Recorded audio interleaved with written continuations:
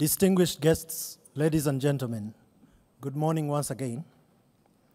Our next and last session of the day and of this symposium is the future of peacekeeping, peacekeeping operations, trends and dynamics, to be moderated by Ms. Lisa Sharland. Ms. Lisa Sharland is a senior fellow and director of the Protecting Civilians and Human Security Program at Stimson, Washington, D.C. Lisa was previously the Deputy Director of Defense Strategy and National Security and the head of the international program at the Australian Strategic Policy Institute in Canberra, Australia. Her research has mainly focused on United Nations peace operations reform, peacekeeping effectiveness, protection of civilians, human rights, preventing and countering violent extremism, and women, peace, and security. She has undertaken field research in countries in Africa and the Pacific, authored numerous research publications, and provided expert commentary to media and news outlets. Lisa was previously a visiting fellow at the Stimson Center and a National Institute of Defense Studies in Japan. She has also worked as a consultant for the International Forum for the Challenges of Peace Operations. Lisa served as the Defense Policy Advisor at the Permanent Mission in Australia to the United Nations in New York from 2009 to 2014, where she provided advice on peacekeeping and defense-related policy issues and represented Australia in multilateral negotiations in the United Nations Security Council and the General Assembly bodies, including Special Committee on Peacekeeping Operations. Lisa holds a Master's of International Studies from the University of Sydney, Australia, as well as a Bachelor's of Law and Bachelor of Arts from Macquarie University, Australia. Please join me in welcoming Ms. Lisa Sharland to the podium.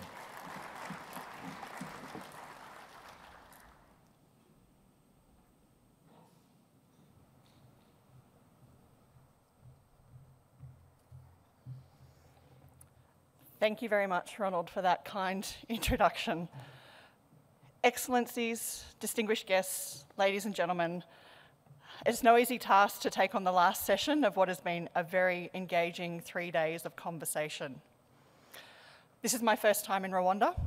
Um, I have really been taking the perspective of a, as a student over the last few days.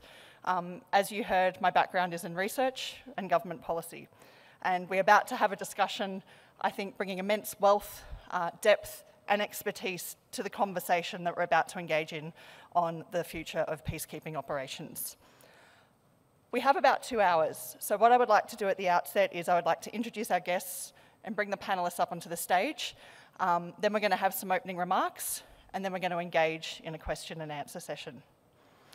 So to start with, um, I would like to invite our first guest to the panel, and that is General Kazura, who is the Chief of Defence Staff for the Rwanda Defence Force. General John Bosco Kazura um, was appointed to this role in November 2019. Prior to his current appointment, he was the Commandant of the Rwanda Defence Force Command and Staff College. General Kazura has held various command and staff appointments in the RDF, including Commander of Infantry Battalion, Mechanised Infantry Regiment, Brigade Commander, Commandant of Rwanda Military Academy, Commandant of the RDF Combat Training Centre, and he has served as the Chief J3 and Commander of the Republican Guard.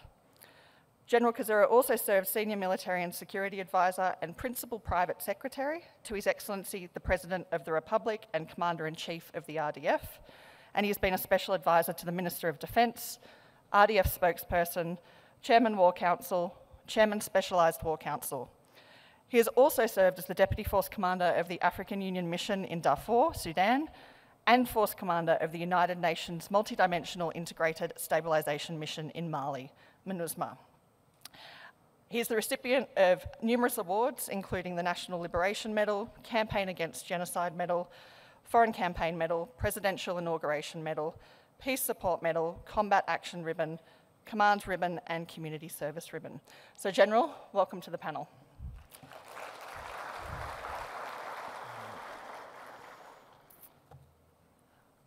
It is my pleasure to invite our second panellist, uh, Lieutenant General Birame Diop, who is the Chief Office of Military Affairs and Military Advisor at the UN.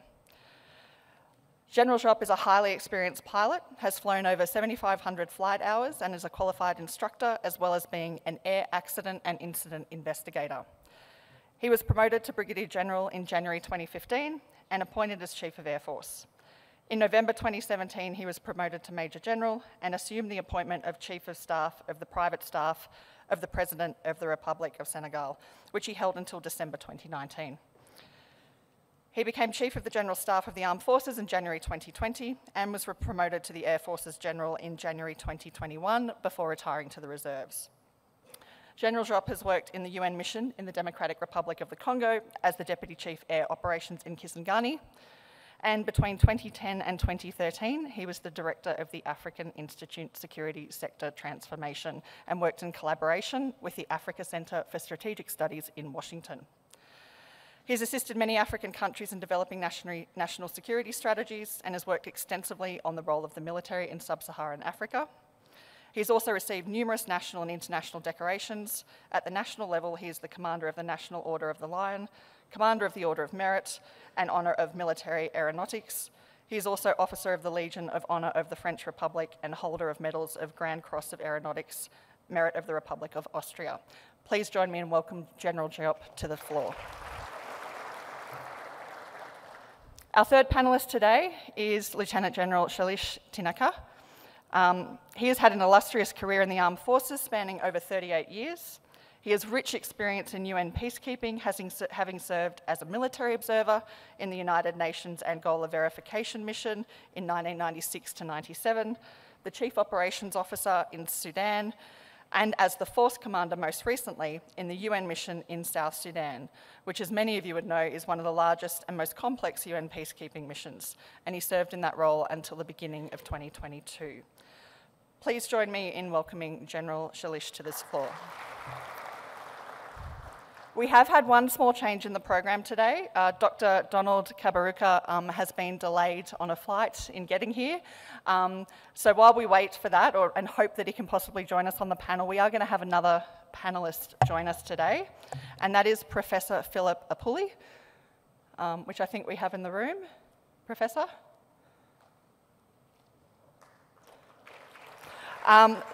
So Professor Apuuli is a Professor of Political Science in the Department of Political Science and Public Administration at Makerere University, Kampala.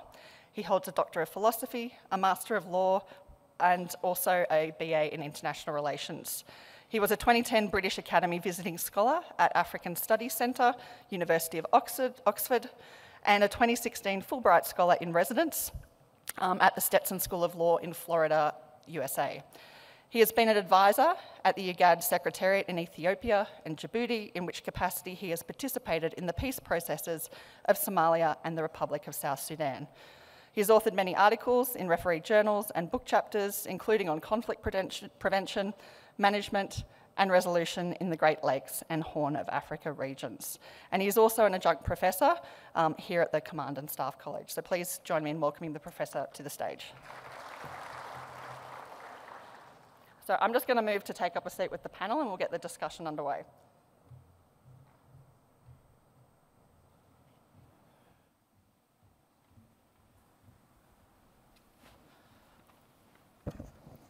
So, just a couple of introductory remarks before we kick off today's discussion, I think to set the scene of some of the issues that we'll be looking at over the next couple of hours.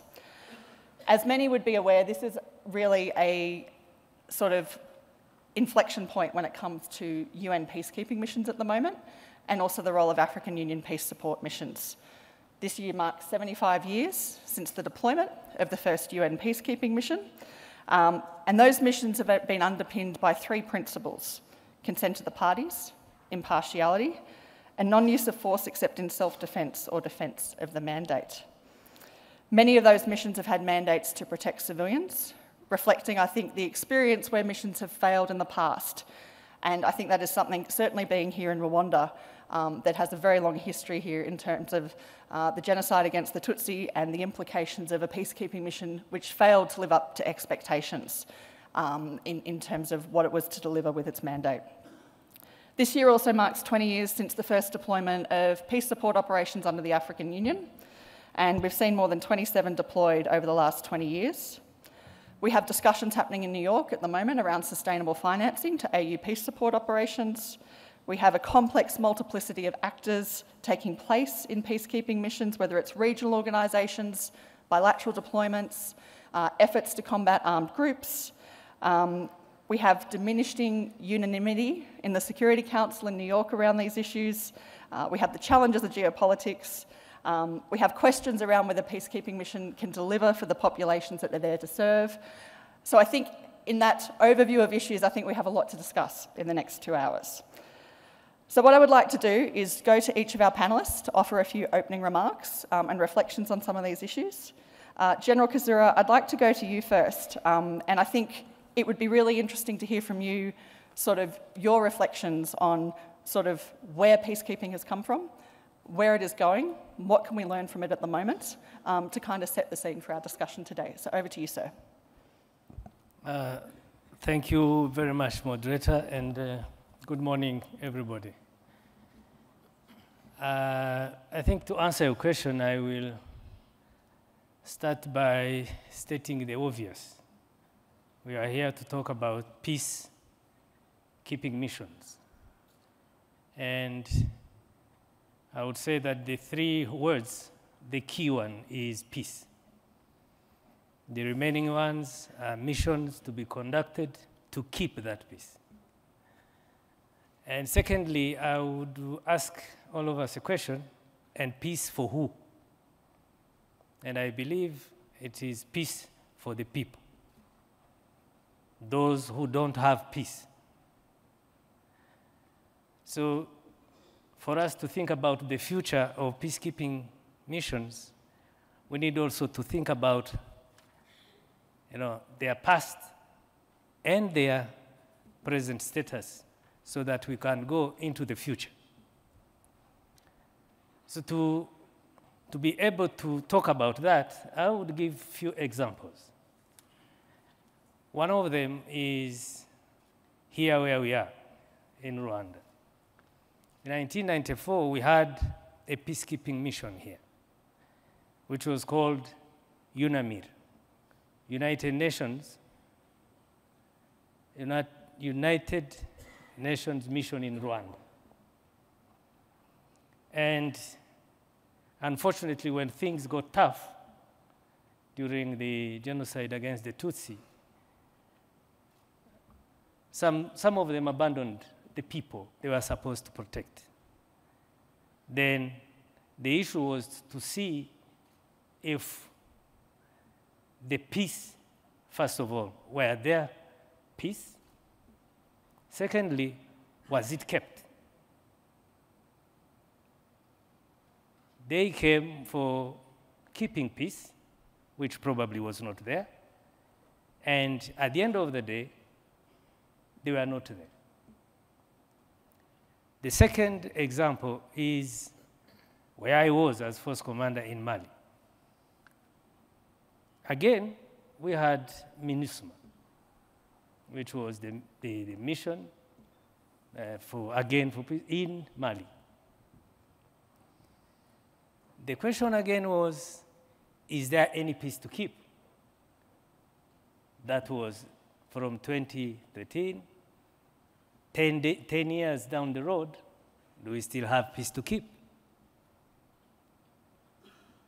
The third one is just across here in the Republic Democratic of Congo we have peacekeeping missions from 1960s.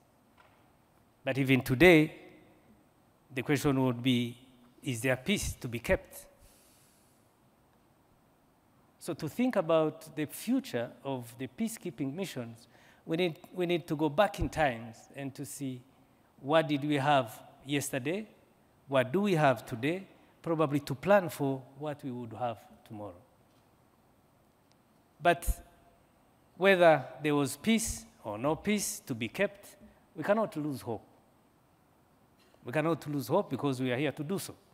And I believe the future of the peacekeeping missions in, is right in our hands here. we can do better. What we didn't do yesterday can be done today. And also, I can give a few examples to show that something can be done. Recently, in Central African Republic, there we have another peacekeeping mission called MINUSCA. Again, do we still ask the same question if we have peace to keep there? But some time back, uh, at the request of His Excellency President Touadera, His Excellency Paul Kagame decided to send troops there on bilateral arrangement. There was war, the government was, has been attacked, and a battalion of Rwanda Defense Force went there, restored peace, and we have the peacekeeping, which has now peace to keep.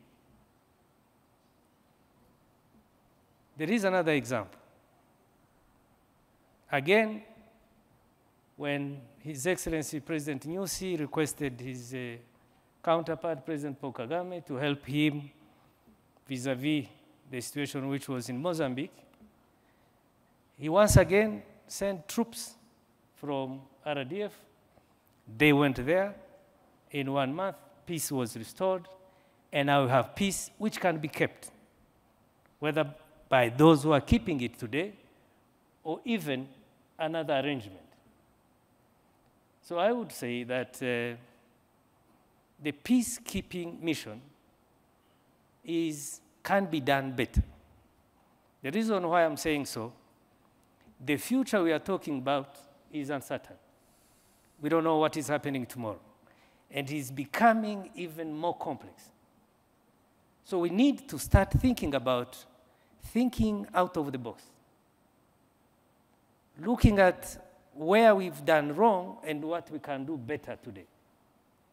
We need to see and, and think that probably there is a way of, first of all, thinking about protecting the population. We need to think about having those peacekeeping missions with the purpose of protecting the people. If you allow me, I will give the last example just to underscore what I'm trying to say. I'm happy to be with my brother, General Birame, here. Sometimes we would deploy troops somewhere, maybe who are not fit for the job. I'll give an example. Those time when I was in Mali, I will not mention the country, I'm sorry, but I have a battalion somewhere which had nice tanks, very well painted in white, with nice cannons, machine guns, everything. And I had also troops. But they were in the north part of the Mali where the real job was, where the rebels and terrorists were. So one day they were attacked. And believe me, it was horrible to see what happened. And yet, troops were there, tanks were there, everything was there. So it is time to think about deploying dedicated soldiers with dedicated equipment and in the right place to do what you have to do. Otherwise, that keeping, peacekeeping mission would lose sense. And all of us here, we need to start understanding that whatever we deploy, wherever we deploy it, is for the people. Because the peace we are talking about is not just the state of, you know, living peacefully. There, no, there, there is a lot of things associated to that because once you give them peace, you must give them every other thing to make sure they can live that peace and they can live longer in that peace. I thank you for very much. Thank you very much.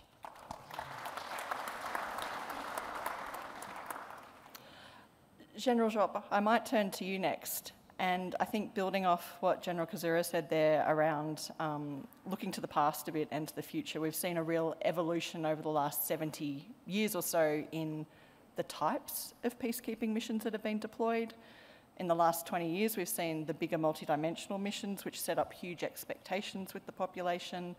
Um, we've seen different types of regional, bilateral, parallel forces operating alongside missions, conducting counter-terrorist operations, and so on.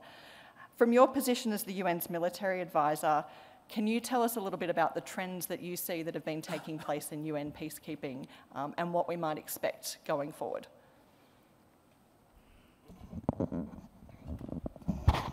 Thank you very much for your question. Let me first of all thank the Rwandan authorities for inviting us to participate in this very important activity. Thank particularly my brother, General Kazura, for inviting me to be part of this panel. And thank Rwanda for the support Rwanda has been giving to the United Nations. Rwanda, as my brother Kazura said, uh, benefited from a peacekeeping mission not a long time ago. And today, we are all very happy to see that Rwanda is playing a leading role in the peacekeeping with many infantry battalions deployed to two missions. Uh, a, a, helicopter unit as well as level two hospital and so on, experts in missions and officers who are serving at our headquarters and so on. So we are very thankful to Rwanda, who is actually ranked number four out of 123 countries that are. Now, I would like also to thank my brother, General Tinaikar, who served as the first commander in UNMISS up until recently. And I'm very happy to see that he's here to share his experience with you. Uh, I benefit as a military advisor from his support, and I would like really all of us to thank him for making himself, himself available to share his huge experience and expertise. Now, coming back to peacekeeping, I think we have a lot of concerns I used to say that peacekeeping is at the crossroads today. But being the military advisor, and therefore being between the political leadership and my colleagues who are deployed in the field and who are responsible of the operational dimension of peacekeeping missions, I would let my two brothers focus more on the operational aspect, but I, will, I, I would rather share the political considerations. Today, it is clear that we are suffering from a lack of trust from our citizens who are not always convinced that we are doing what they are expecting from us. And this is a very big concern because it is very difficult for peacekeeping to be successful without having the support of our citizens, without having their confidence and their trust.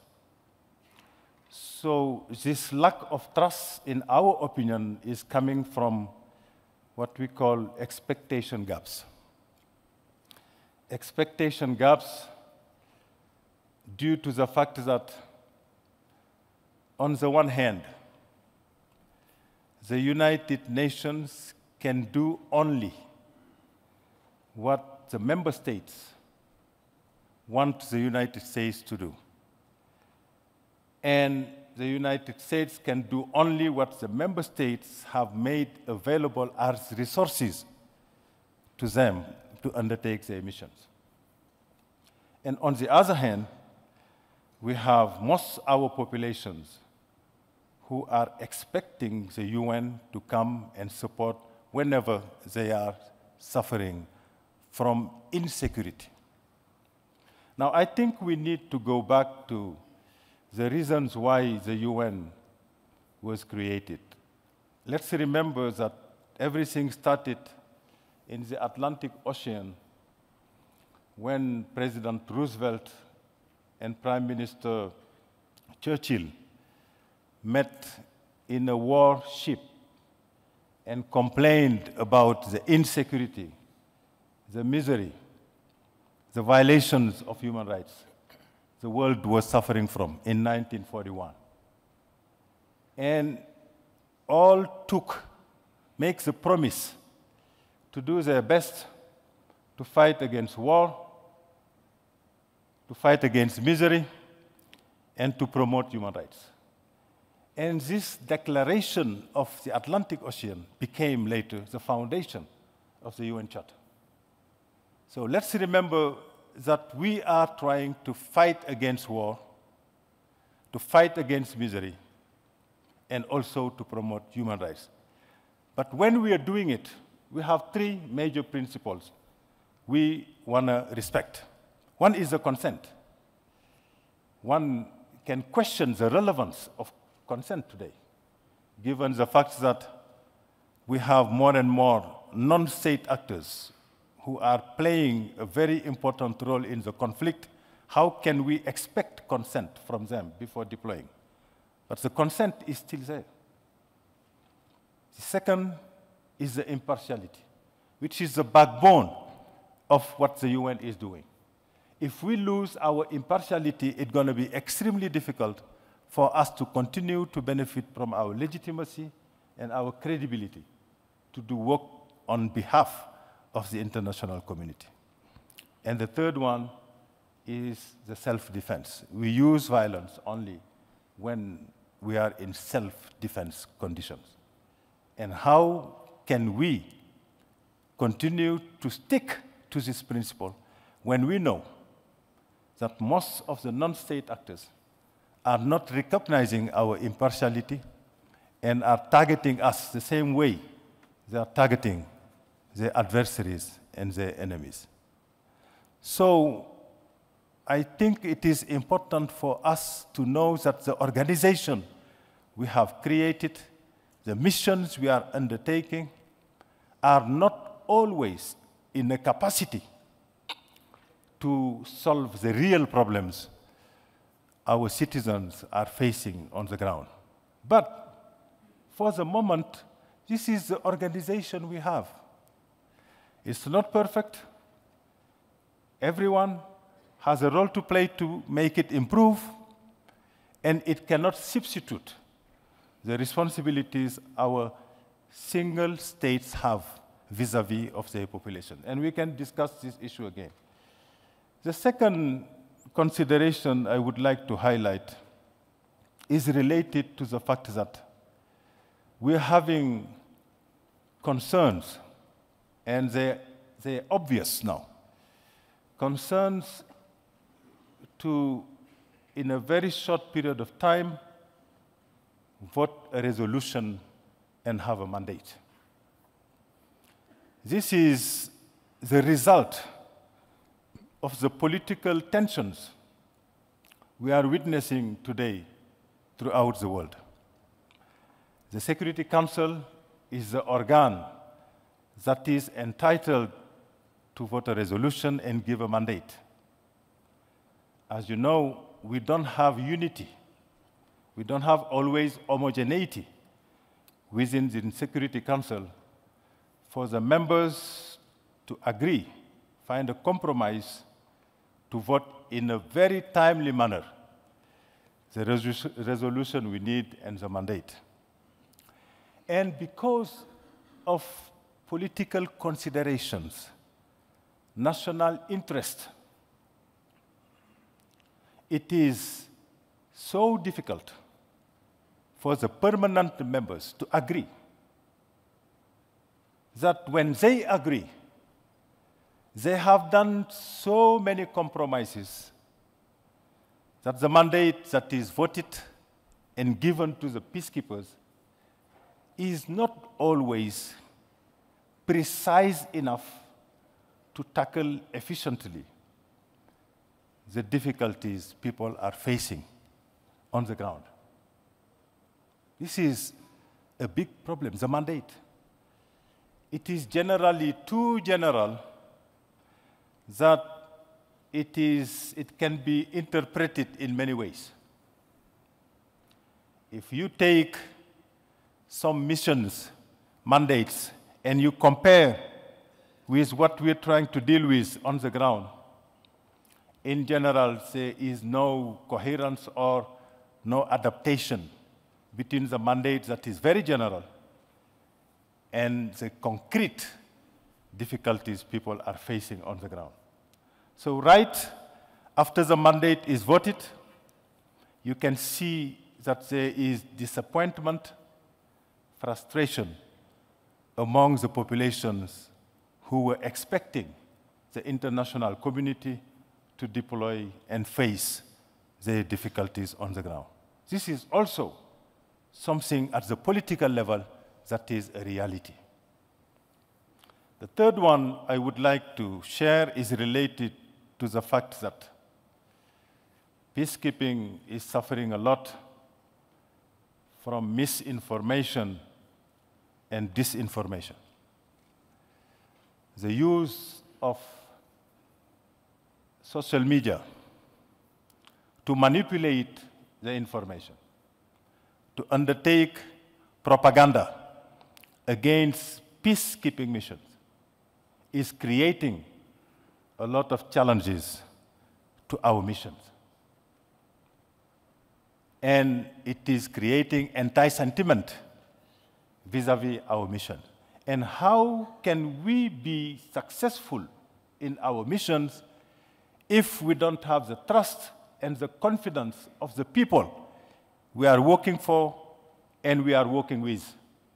It is impossible because peacekeepers are not deployed to substitute, they're deployed to accompany. Peacekeeping alone will never be the solution of our conflict, but it is part of the solution. It's a combination of what peacekeepers are doing to support, plus what the institutions at the national level are doing. I'm thinking of the state what the populations are doing, what civil societies are doing, what the youth, the women associations are doing. So peacekeeping should be understood as being only part of the solution, but will never be the solution. I would like to finish sharing another phenomenon we are suffering from. It is the fact that today, we can count less and less on Western countries to deploy peacekeepers on the ground. They have their reasons. But the, re the, result, the, the reality is that we're seeing less and less Western countries deploying troops on the ground. We have seen recently in Mali an exception whereby we had a coalition of willings who were able to deploy units coming from Europe, for example. But apart from this deployment in Mali, and most of them are withdrawing, we have suffered from the fact that today we cannot count 100% on the very important capabilities those countries can deploy with. So there is a capability gap we're suffering from because of the fact that the Western countries are not anymore deploying group, uh, troops in the ground. And this is also something I think which is a reality in the peacekeeping of today. I'm not downplaying the role peacekeepers from Africa from Asia, from America are playing. But it is clear that we would have been better off if we could uh, take advantage of these great capabilities the Western countries could deploy in the ground. I will keep it there, and when I will have the opportunity to take the floor again, I would like to share some other issues. Uh, but now I don't want to monopolize the, uh, the floor. I thank you very much, Lisa, for giving me the time. Thank you. No, not at all, General. We look forward to, to coming back to you, I think, on some of these questions, particularly, I think, around why we're seeing this trend in terms of Western contributions and what is it about peacekeeping that we perhaps need to examine and, and address around some of those issues. Um, I'd now like to go to, to General Tinaikar um, to, first of all, um, you've recently come out of a mission as a force commander, the UN mission in South Sudan. Um, you have that experience, I think, to share about sort of some of those challenges, but also perhaps what are some of your thoughts on addressing some of the issues that have already been raised by our panel this morning? So I'd like to, to pass to you to, to offer some reflections. Thank you, uh, General Diop. Uh, thank you, uh, CDS, for your very, very important and significant uh, comments. It's good to be here in Rwanda. Uh, you've been engaged with peacekeeping for long. You've seen how peacekeeping fails Subsequently, you are partners in peacekeeping. You hold very, uh, people from Rwanda are holding very important positions. There is at present an SRSG, you have force commanders, you've got uh, sector commanders, and you are contributing very, very significantly. And you are known as a reliable partner for peacekeeping. As a force commander, I have, uh, I think Rwandans, as I've mentioned to your chief, as also to your CDS, uh, are excellent peacekeepers, very responsive, very responsive, very alert, very enthusiastic, willing to uh, suffer hardships for the cause of peace. You've suffered from uh, the on the failures of United UN peacekeeping, and you know exactly and precisely how to respond. Peacekeeping, as you, uh, peace, uh, well, the United Nations has the primary responsibility, as you are well aware, and it was, it is meant to save mankind from hell. Right now, hell is, is not just a dropping of an, uh, a nuclear weapon. For a community which gets displaced, which gets a large number of people killed, which is at the mercy of the elements, for them that is hell. So does United Nations have a responsibility to respond to their sufferings? Definitely it has. Has it done enough to meet the challenge? Partly yes, partly no. Let's say post, uh, during the Cold War years, it was by and large monitoring interstate conflicts, but it left 20 million dead in conflicts around the globe. Post the Cold War and in the initial stages, it got into interstate conflicts. Now, interstate conflicts are complex particular for anybody to resolve. But during that stage when there was cooperation and where the host country was by and large cooperative, amenable to the way uh, the country had to progress and come out of the devastation of civil war, it was relatively easy. So out of 16 peacekeeping missions as per statistics, 11 UN peacekeeping missions were successful. They have not reverted to war. And that is a very, very good statistic when you consider the complexities in which uh, the UN peacekeeping force are deployed and they operate. They are some of the most uh, isolated regions.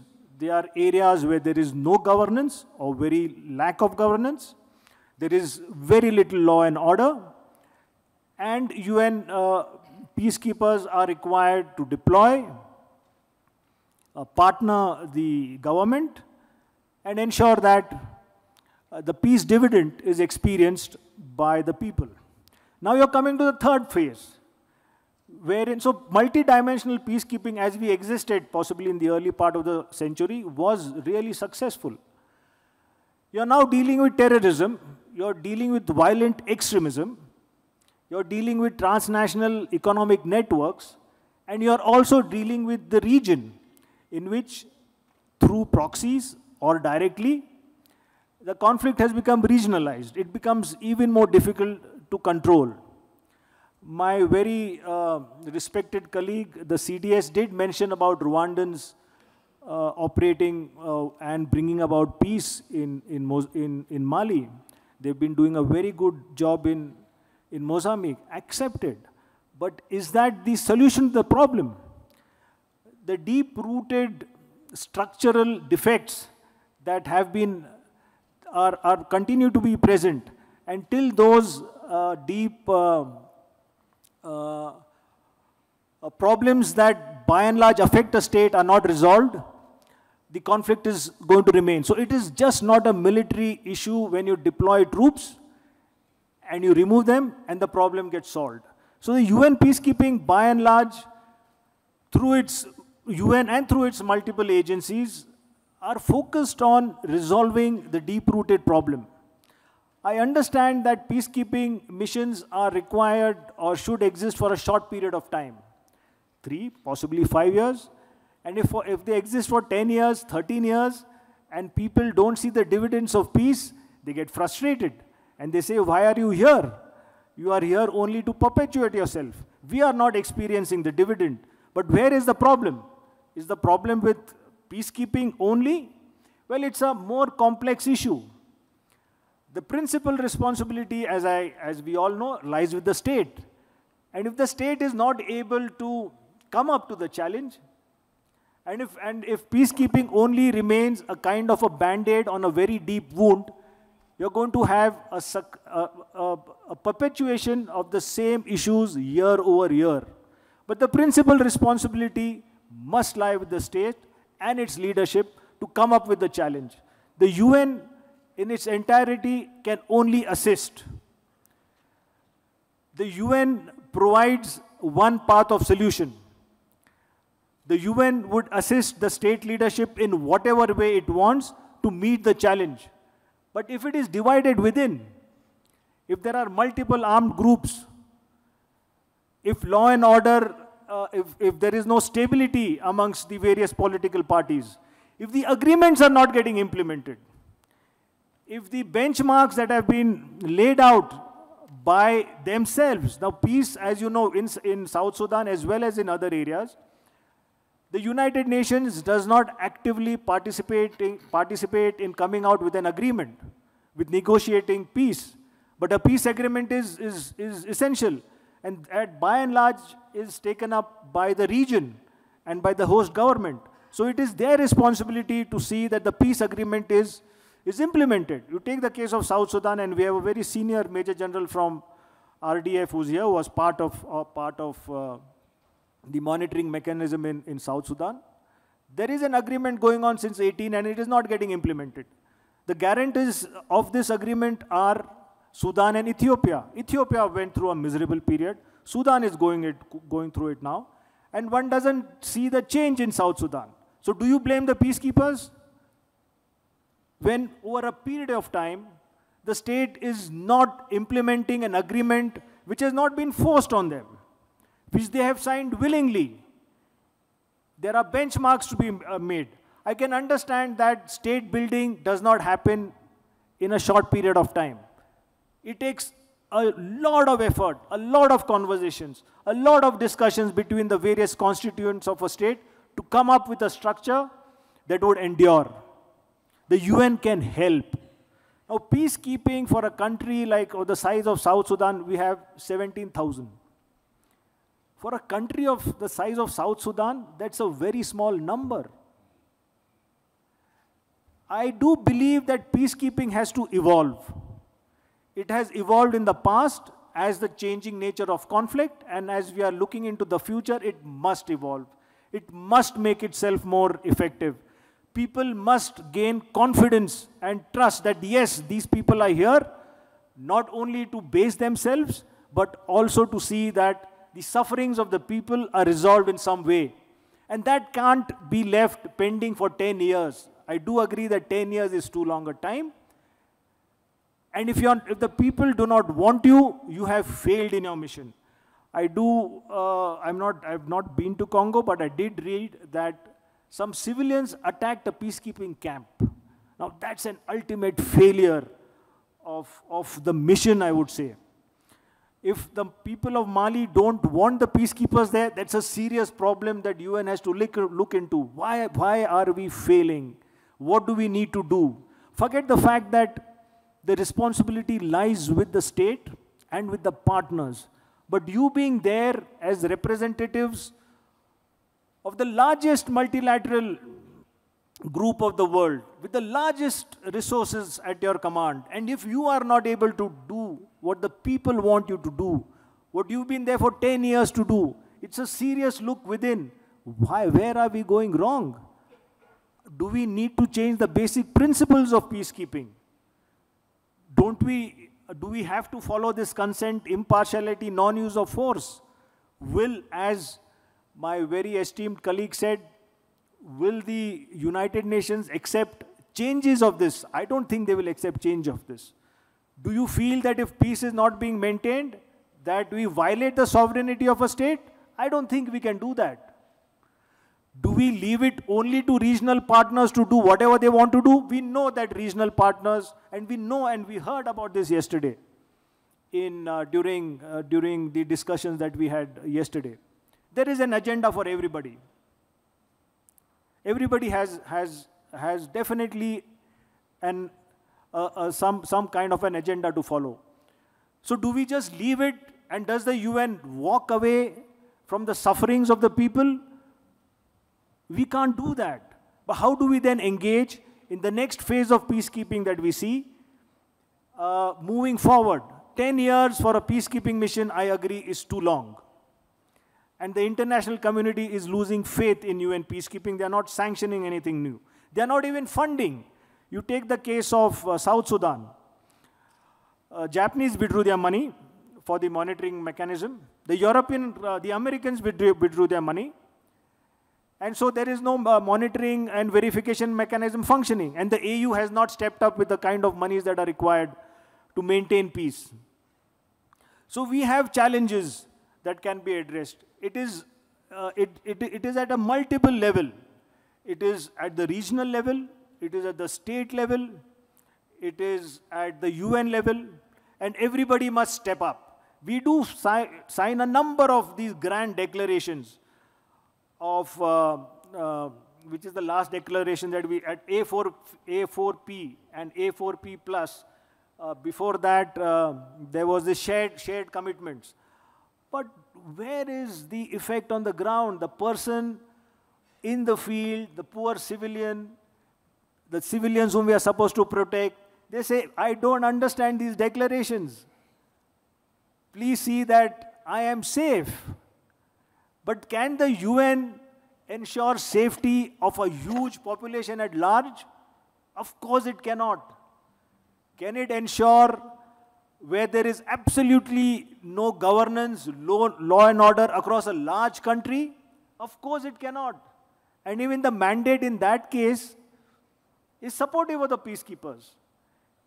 It understands the kind of limitations that they go through. And it says protection within areas of deployment and within capacity. But that is good enough, I feel. Peacekeepers have to be more mobile. Peacekeepers have to, generate, have to be more enthusiastic. Peacekeepers have to be in areas where there is conflict. But peacekeepers also have to be safe and secure. Peacekeeping shines when the blue flag and the blue helmet is respected. If you don't respect that, then you have no business to be there. It is there to make peace, it is there to build peace. And yes, you say it is also there to enforce peace. But peace cannot be enforced for five, ten years. It may be an emergency kind of response for a short period of time. No country is going to send its troops outside to die. It's sending it, and there are political consequences back home if you lose peacekeepers in a peacekeeping mission. They will pull out. You're seeing it in Mali. You're seeing there is a 17% deficiency, deficiency of peacekeepers in Mali. But does the international community give up? It should not give up. Peacekeeping is not an ideal solution. It is not the best solution, but it is one of a very, very important uh, solutions that the international community has to offer. It definitely has to do something more, but then everybody else has to abide by the commitments that they have made in every, every phase of activity. Thank you. Thank you very much, General Tinaikar. I'd like to first of all thank our final panellists for joining us on, on short notice. Um, we've heard here uh, Professor Apuuli discussion around this idea that there's no peace for peacekeeping missions to keep effectively in a number of environments where they're deployed. Um, questions around what that looks like. Uh, we've, we've just heard from the, the General here about the fact that, um, you know, is peacekeeping fit for purpose? Uh, I think the fact that we've seen a number of UN missions deployed over the last decade, I think Mali stands out in that context where perhaps they were not the right tool, but they were the default tool that the Security Council had at its hands to, to authorise at that point in time, and notwithstanding financing and funding questions behind that. Um, I'd be interested in your opening reflections around some of these questions, and I think particularly given your experience and expertise on conflict resolution, working with the IGAD, we see a lot of parallel processes happening alongside peacekeeping missions. Um, what can we learn from this, and what might that mean in the future for peacekeeping?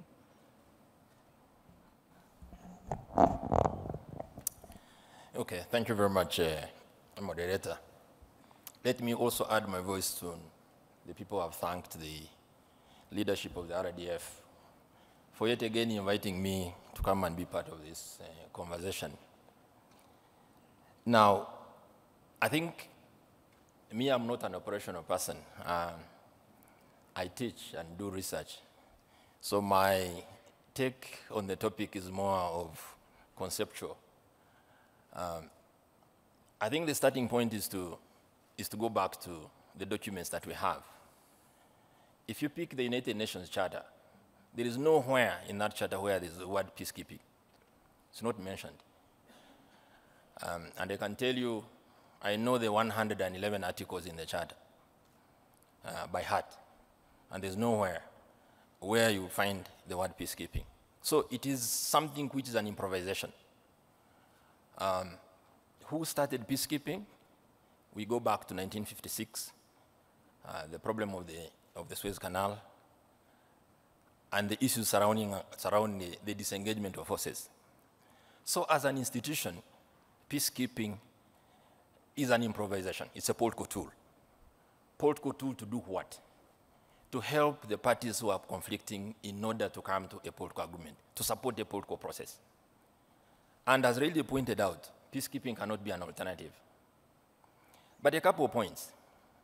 I think also we need to, the concentration on my seniors has been on the United Nations peacekeeping. But I wanted to take, talk a little bit more about African, the African processes. If you see how peacekeeping has evolved over the last 75 years, the UN has had 73 missions. 61 ended, 12 are ongoing, six are in Africa. Basically, half of the peacekeeping missions of the UN now are in Africa.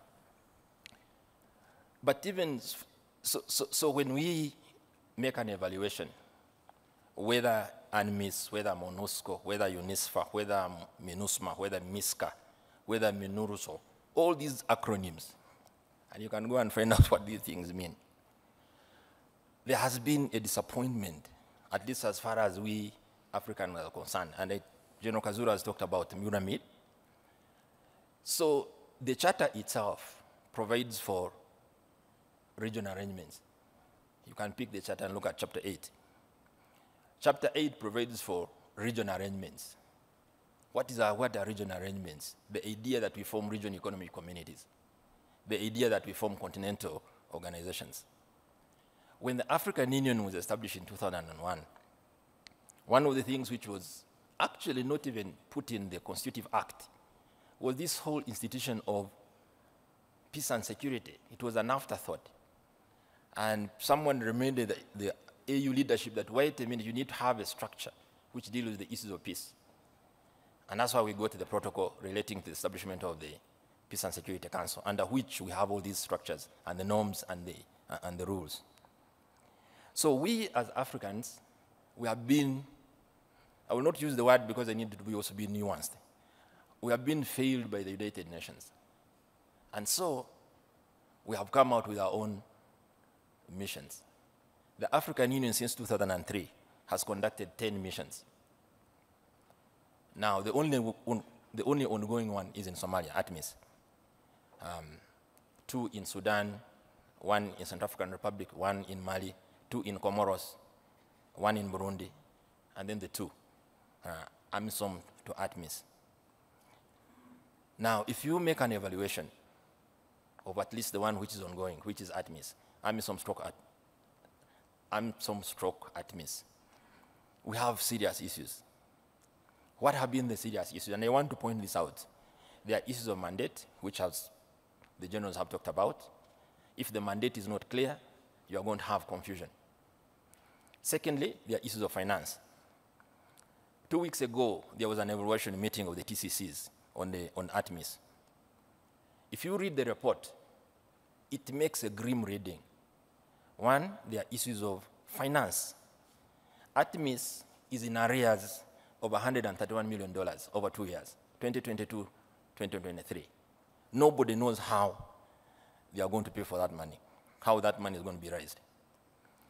And that's why within the context of the drawdown, because there is this issue that the Somalis have been arguing that ATMIS, and, and the general here has talked about peacekeeping being endless. We have what we call the Somalia Transition Plan. And the Somalis said, look, AMISOM, ATMIS, you have been here for, you need to leave. So we have given ourselves 2024 to withdraw AMISOM or ATMIS. But there are issues to do with the drawdown. The, the military processes have not been followed by the political processes. You, the military people, you fight and you recover territory from Al Shabaab, but there's no political process which follows your military successes. So we have a very serious problem of of engagement. So, so, so for me, and that is why increasingly we are resorting to two things, and, and this will be my, my, my last thoughts. Two things. One, we have come out with ad hoc security initiatives. What are the ad hoc in security initiatives? These days, it is the coalition of the coalitions of the willings. So we have the multinational joint task force against Boko Haram. We have the G5 Sahel Force. We have the regional coordination against LRA, RCI. And increasingly now we are talking about the Accra initiative. Why have we gone to these ad hoc arrangements? It's because of the failure of what we call, and in any case, the other thing which, was, which I forgot we should have told you, in the nomenclature of the African Union, we don't call it peace, peacekeeping. Ours are peace support. There is a conceptual difference here. Because we recognize that there's no peace, you don't, we don't send you to go and keep peace. We, we send you to go sometimes to make peace. So that's why in the nomenclature we call them peace support operations.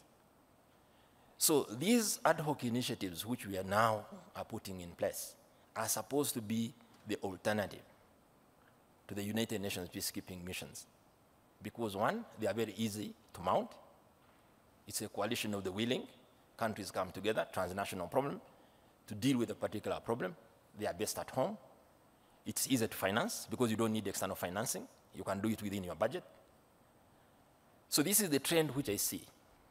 The second thing which, is, which I'm seeing in peacekeeping is the bilateral arrangements. That increasingly we are resorting to bilateral agreements. Rwanda in Central African Republic, Rwanda in, uh, in Mozambique, Uganda in the DRC under Operation Shujaa, and this, why is it, why are we amenable to, to, to, to do these bilaterals? Because again, it is very easy to negotiate. It is very easy to finance. It is very easy to raise the troops. You don't need to wait for New York to give you a mandate. But also increasingly, the regional economic communities, SAMIM, the SADC mission in Mozambique, the East African Community Regional Force in the DRC.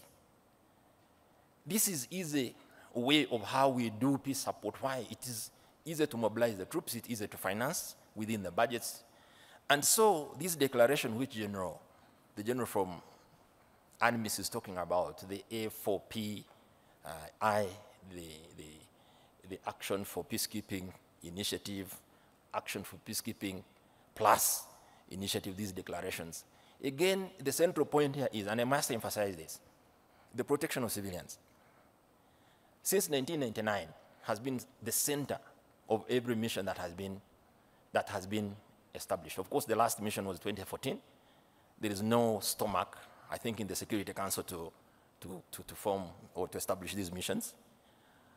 But the idea is that you, as a peacekeeper, I think the primary responsibility now is to protect the civilians. At least we know we have those two very important resolutions, 1265 and 1296, which specifically say because the people who are going to suffer if you don't keep the peace are going to be the civilians. So this is why very, this is very central.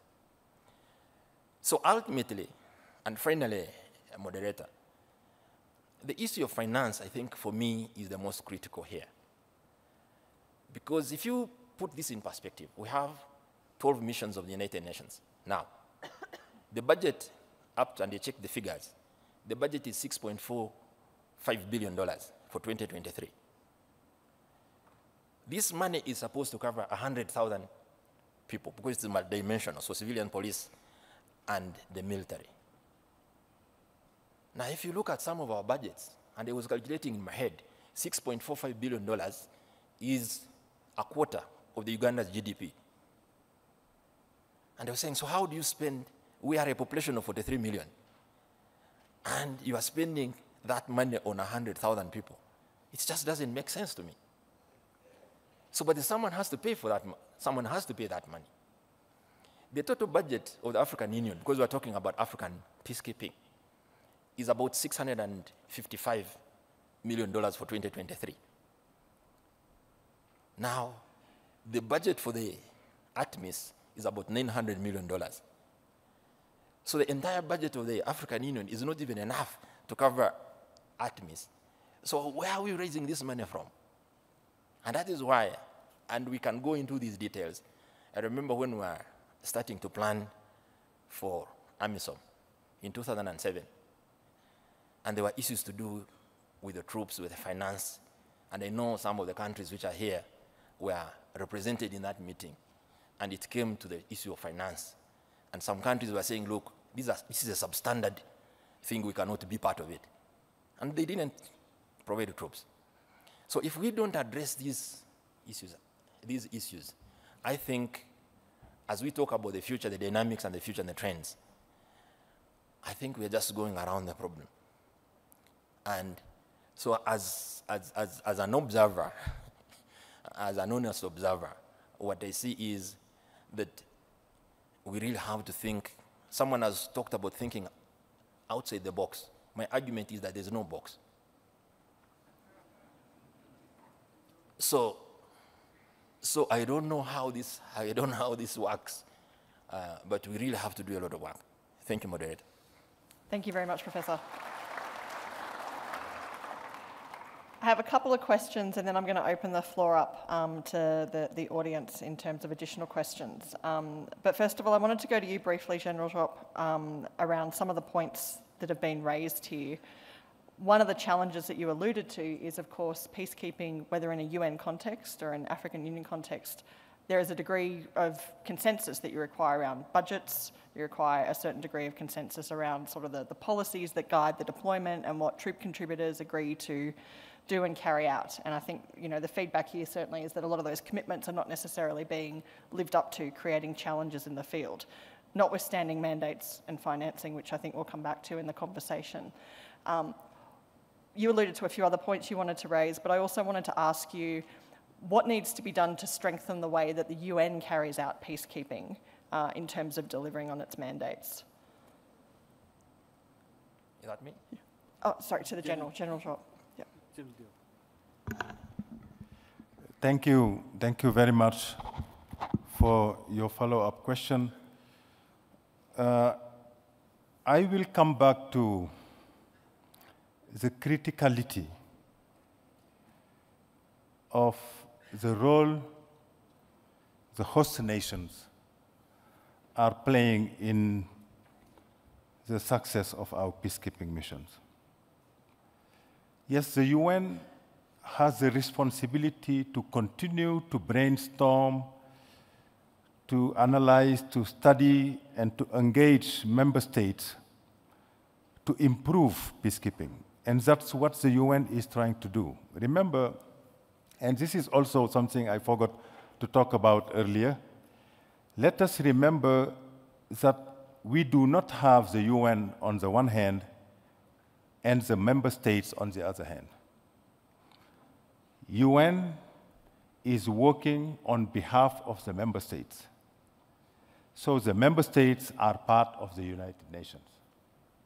And the United Nations need member states' support in all regards for the UN to be able to be successful. In the mission, the member states have given to the institution.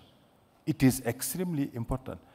So finger pointing, blaming an institution that is working on our behalf needs to be avoided, in my opinion. And member states should even be part of the strategic communication that needs to be undertaken to explain better the mission of the United Nations so that citizens understand what the institution can do and cannot do and avoid the expectation gaps. Now, this is extremely important. And it is important also for the United Nations to better communicate in the fact that the UN is not meant to substitute states. The UN is meant to accompany the states in executing the mandates given by the United Nations. Now, it is also up to the UN to continue to engage the regional bodies because we all know that at the regional level, the securities of our states are intrinsically linked. So there is a question of collective security. Regional bodies need to take into consideration. And if they do not, it will be extremely difficult for the UN, whatever decision we take, whatever initiative we take, to be successful. This is extremely important. And I will also add to that that the UN should communicate better so that the populations who are benefiting from the mission understand what are the objective limits of the United Nations so that they are not expecting things we are not able to do. Because we can only implement the mandate we are given. We cannot implement a mandate we are not given. That is extremely important. And if you go back to the mandates once again, you will see that very often the mandates are not talking about directly or explicitly about the expectations of the population. If you go to missions where populations are suffering from terrorist attacks, armed groups attacks, and populations, when they see the UN deploying with APCs, helicopters, they expect the UN maybe to fight directly the armed groups and the terrorist group. And after several months, they realize that they're not doing it. They become disappointed and frustrated to a point that very often they can even demonstrate for the United Nations to live.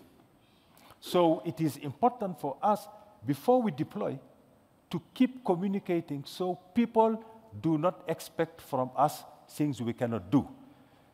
I am used to telling to some of my colleagues that even if by extraordinary, one day we are given the mandate that is explicit and that is asking us to go and fight directly against the terrorist groups. We have the mandate.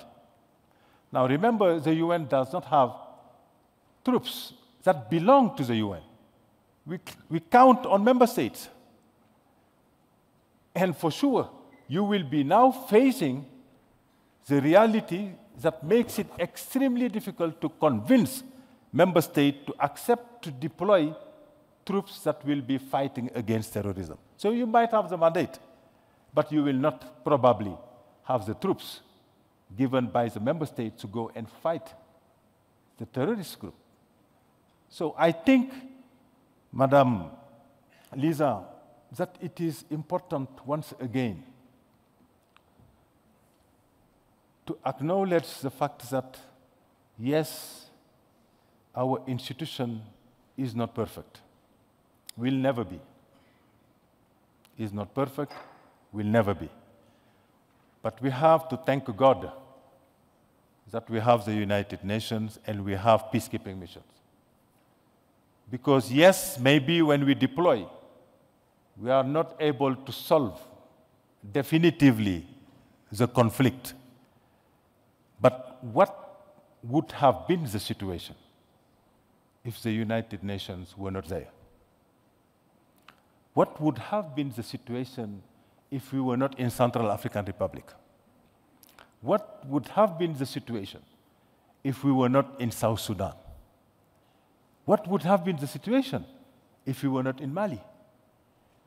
So I think explaining the value added the United Nations is bringing is also part of the efforts we need to deploy so that people understand that our institution is not, yes, perfect, but it is bringing value added to what we are doing in general. But, and once again, and I finish with this, it's never, and it will never be only about the UN. Peacekeeping includes prevention. And prevention includes good governance, includes restoring hope within our societies so that people can see that the elementary needs are fulfilled for them to be in condition to work, to live in peace. So I used to say that we are all peacekeepers. It's not only about those we call the experts, in quotation marks, of peacekeeping. We are all at the individual level, at the collective level. We are all peacekeepers. In the messages we are conveying to our family members, to the messages we are conveying to our colleagues at the workplace, to the messages we are conveying to our people in our communities. We cannot expect to have peace if we are not conveying peaceful messages. If we are conveying messages of hatred, regardless the effectiveness of peacekeeping missions will never be in sustainable peace. So this is also part of it. Restoring hope and conveying also the right messages. Thank you, Lisa. I think the points that you've mentioned there, General Diop, one of the things that we haven't discussed and we probably won't have time to go into, of course, is the fact that the UN has had missions deployed um, for decades in some contexts. They're not multidimensional missions, they're observer missions, um, but they have been preventing conflict escalating um, further in some of these regions, whether it's the Middle East or Cyprus or elsewhere, um, which may be outside the scope of the conversation here today, but I, I think that's something that the UN and different member states are reflecting on um, in terms of what can we learn from those situations in terms of the future of peacekeeping. Uh, General Kazura, I wanted to come back to you. Uh, you mentioned at the outset Rwanda's engagement uh, in deploying bilateral forces alongside peacekeeping missions. Uh, and I was wondering if you could elaborate a little bit on the rationale behind that, uh, given that we are seeing increasingly different types of deployments alongside UN peacekeeping missions that bring different comparative advantages, whether that they can go beyond the mandate of what a UN peacekeeping mission can do. They might be able to deploy more rapidly. Um, so I'd be interested in your insights on sort of the rationale behind that and whether you see that something as part of the future of peacekeeping. Thank you. Thank you, Madam Lisa. And uh, I want to agree with my brothers here on uh, that uh, we all need UN. And it was well said, UN is not there for the whole solution. It is not perfect. But we need it as, uh, as an institution, and I agree with them. But coming back to what we are discussing today about the future of those operations, we need to say that uh, the, the operations are not there for the sake of being there. They are there for the purpose. And as my brother said very clearly, they, we need trust from the population. But again, trust is not fought for. It is not requested for. Trust is earned according to what you do. So sometimes people are going to have that resentment because they, as he said, they are not getting exactly what they are expecting to get. you may ex- explain to them, please, we are coming, don't expect this, and indeed, they will not expect that. So, to be trusted is because what you do, not what you have explained. And at the end of the day, whatever we do, we do it for the population. And as long as they are not happy, then definitely there will be that problem. So I totally agree with we need UN. UN is doing what it can, but we can do better. Because as uh, Apuuli said, Professor Apuuli said that the peacekeeping operations, the, that is semantics, it's, it is not, normally it should be peace support operations. But who do you support? Again, there is an ultimate goal you want to achieve. And once you don't achieve that goal, definitely there will be somebody who is not happy. And once he's not happy, he would ask you, why are you not doing what he's supposed to get? And I would also make a, a, a small comment on, um, on the host country. I do believe, from my experience, that you deploy, whether it is peace support missions or peacekeeping operations, in a country, in a host country, which is already, which is already weak somehow. Because nobody would wish to have those forces deployed in your country if you are self-sufficient. Nobody here would wish to have those, uh, those missions in your own country. Sometimes you accept them because you need them. And once you need them, they need to see in you what they expect from you. So I think we do not say that the UN is not, uh, we, we do all agree that we need UN, but once you go to those operations, definitely we need to earn that trust by doing somehow in your own way what they're expecting from you. So coming to your question then, uh, the bilateral arrangement is another solution. As he said, it is a solution which can be combined with other solutions, including the peacekeeping ones. Because you deploy them as quick as you can, your hands are not tied, you can act as quick as you can, depending on the means you have, depending on the threat which is on the ground. So I believe that the bilateral engagement, it's not, it's not the bilateral arrangement and the peacekeeping operations. They are not mutual exclusive. They can work together as long as what we want to achieve is the same. So we can achieve the bilateral arrangement can achieve, for instance, what we want to achieve, including peace, and then that peace can be, can be kept because it is already there.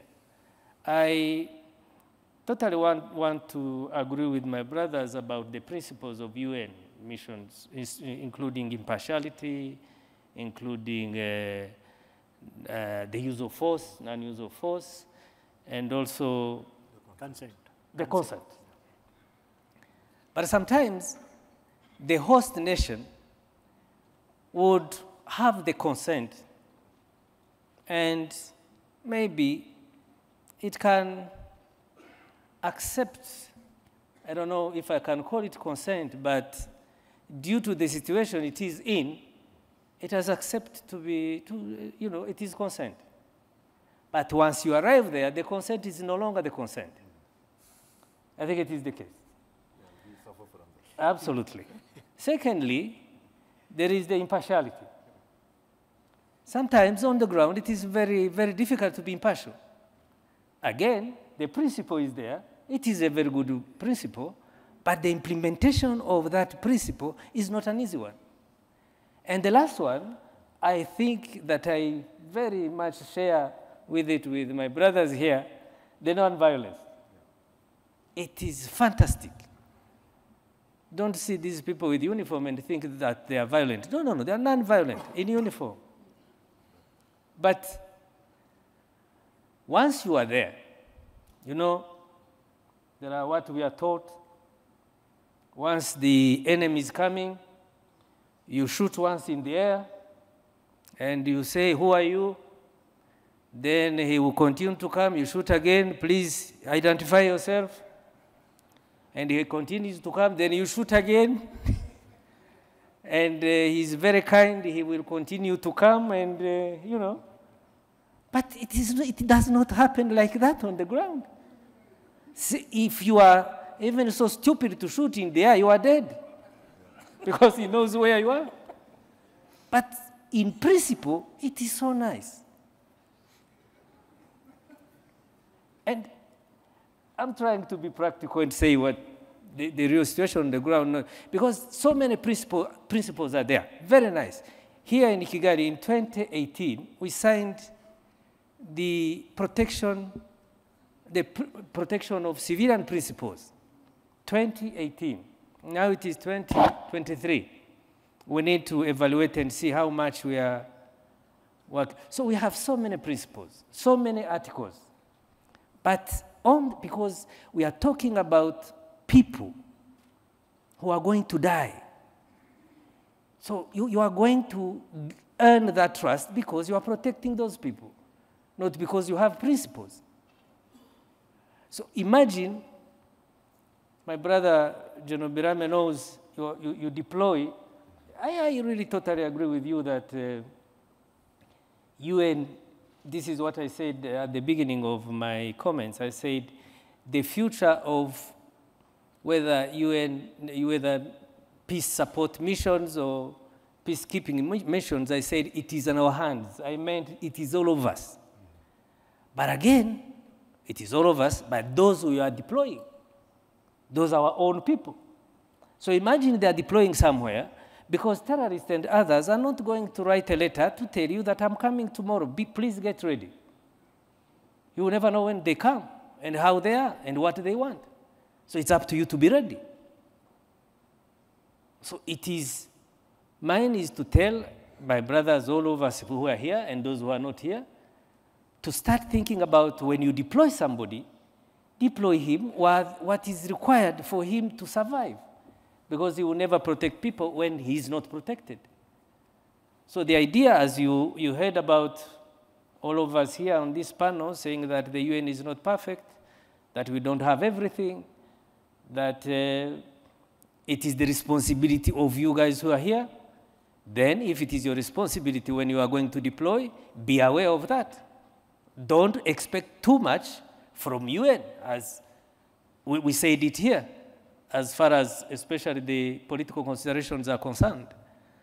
So I believe that what, again, I repeat it, that is my conviction that what we did yesterday probably was fine. But I'm sure it is not what we can do today. And definitely it will not be what we will do tomorrow. So I think we start, we need to think not out of the box. I don't know, as he said, why people would go into the box, then to come, to come out of it to think again. so maybe whether you think out of the box or stay in, it is your business. But let's say time has come to say the peacekeeping, the way we did things in 1990, is not the way we can do it today. And definitely it will not be the way we are, we are going to do it tomorrow. My brother here is now requesting for the state if they have drones, if they have uh, new technologies, equipment to be sent to UN. It is not what we were thinking about yesterday. So by deploying your own troops, please be aware that the UN is not perfect, that we are not perfect, and do it according to how you may make sure that you protect the people where you are going and how you're going to make sure that you protect your own people. I will make the last comment saying that, please, I'm sure all of us here, no one would wish to have these troops to be deployed in your country. Because they are, they are going to be deployed in your country because you need them, because you are already weak. So I would even say that why can't, do, why can't we do all we can to make sure, first of all, those forces are not deployed in our own countries. Let it be when you cannot do otherwise. So by the time we leave this place, say, they are not deployed in my country. Thank you very much. Thank you, General Kazura. Um, given the time, I hope the other panellists don't mind. I'm going to open up the floor to some questions from those in the audience, and we'll gather up a few questions and then come back to the panel. So I see we have a number of, number of raised hands, so we might start um, just over here.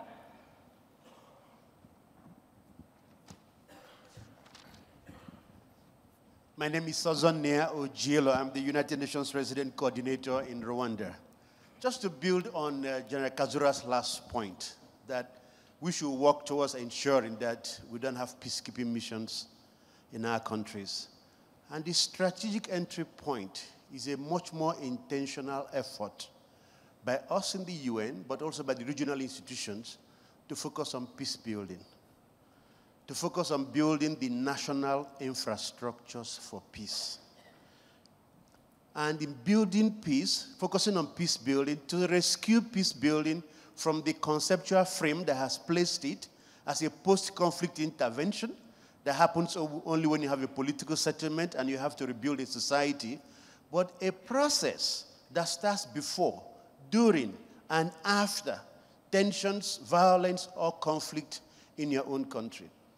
And in focusing on national infrastructures for peace, that there is no template that is provided by anyone. But we begin by looking at what exists in our various countries.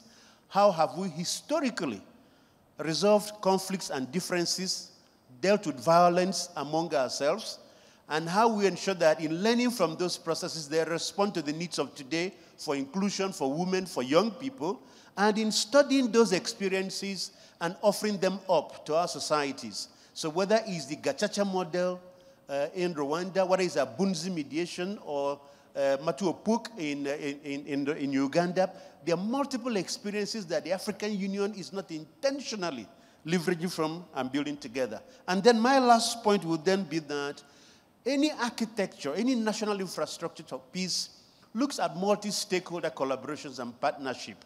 It's not a responsibility for state institutions only. It is a responsibility for a whole of society approach, for women, for youth, for different segments, and that the logic of early warning It's not a securitized approach, but looks at even health, pandemics, economic issues, social issues for which expertise may exist outside the security institutions or other state institutions. And so building all of that and the response, not just the analysis, often the evidence is there, but in catalyzing the response. And that each time there is a threat, the security approach is often the last response. It's the elders, it's the community groups, it's about confidence building, it's about trust that you deploy can help to address them. But when violence is threatened, then we deploy the peace. So perhaps that can then help us to frame the peacekeeping agenda for the 21st century. Thank you very much, sir. Um, other questions? Uh, we have a lady in the front row, uh, just at the start of the seats. Sorry, just in the back there. She's got her hand raised. Sorry, to the gentleman with the microphone. Yep, just behind, to your right.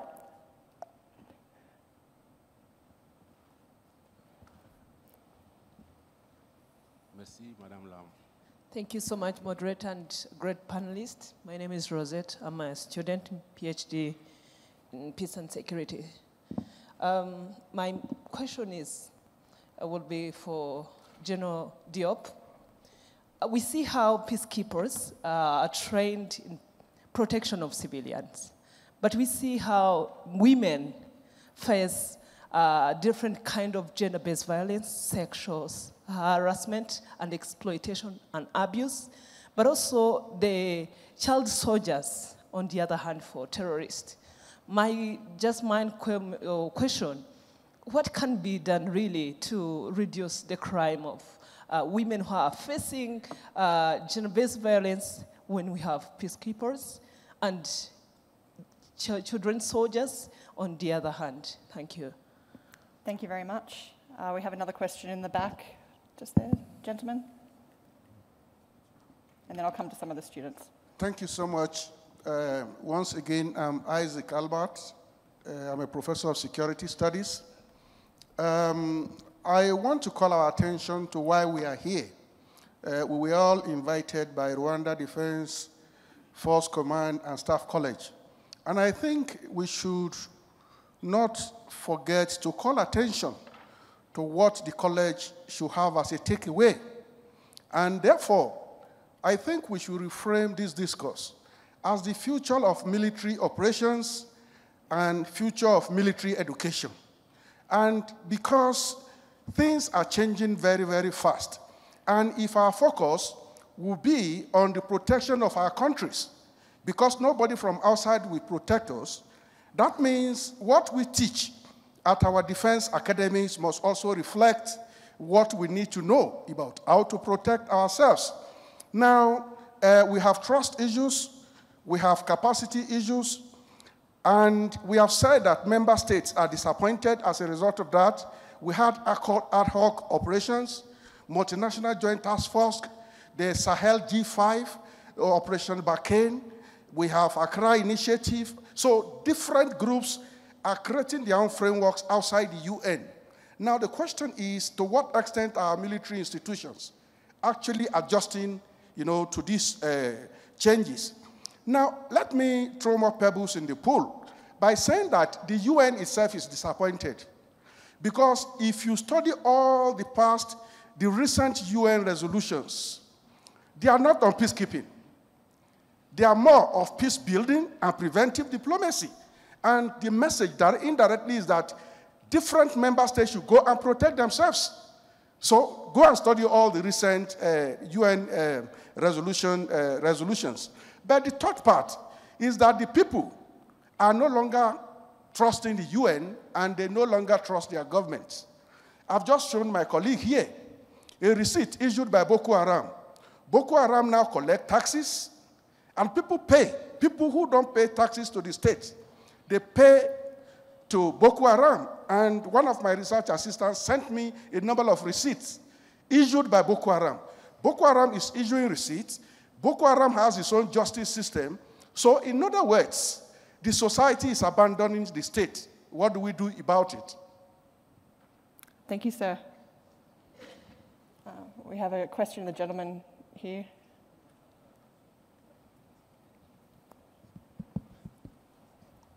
Thank you very much, moderator. My name is uh, retired Commissioner of Police Cyprian Gatete, uh, but currently I'm a lawyer. Uh, we have seen uh, traditional peacekeeping evolving and then uh, it has become multi-dimensional peacekeeping, which is armed and uh, trained, but somewhere you don't find it performing its duties as it is supposed to do.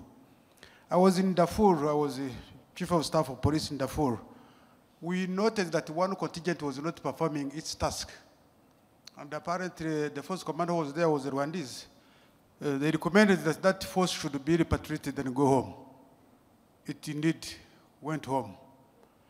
So that is a good motivation, according to Mark Grace.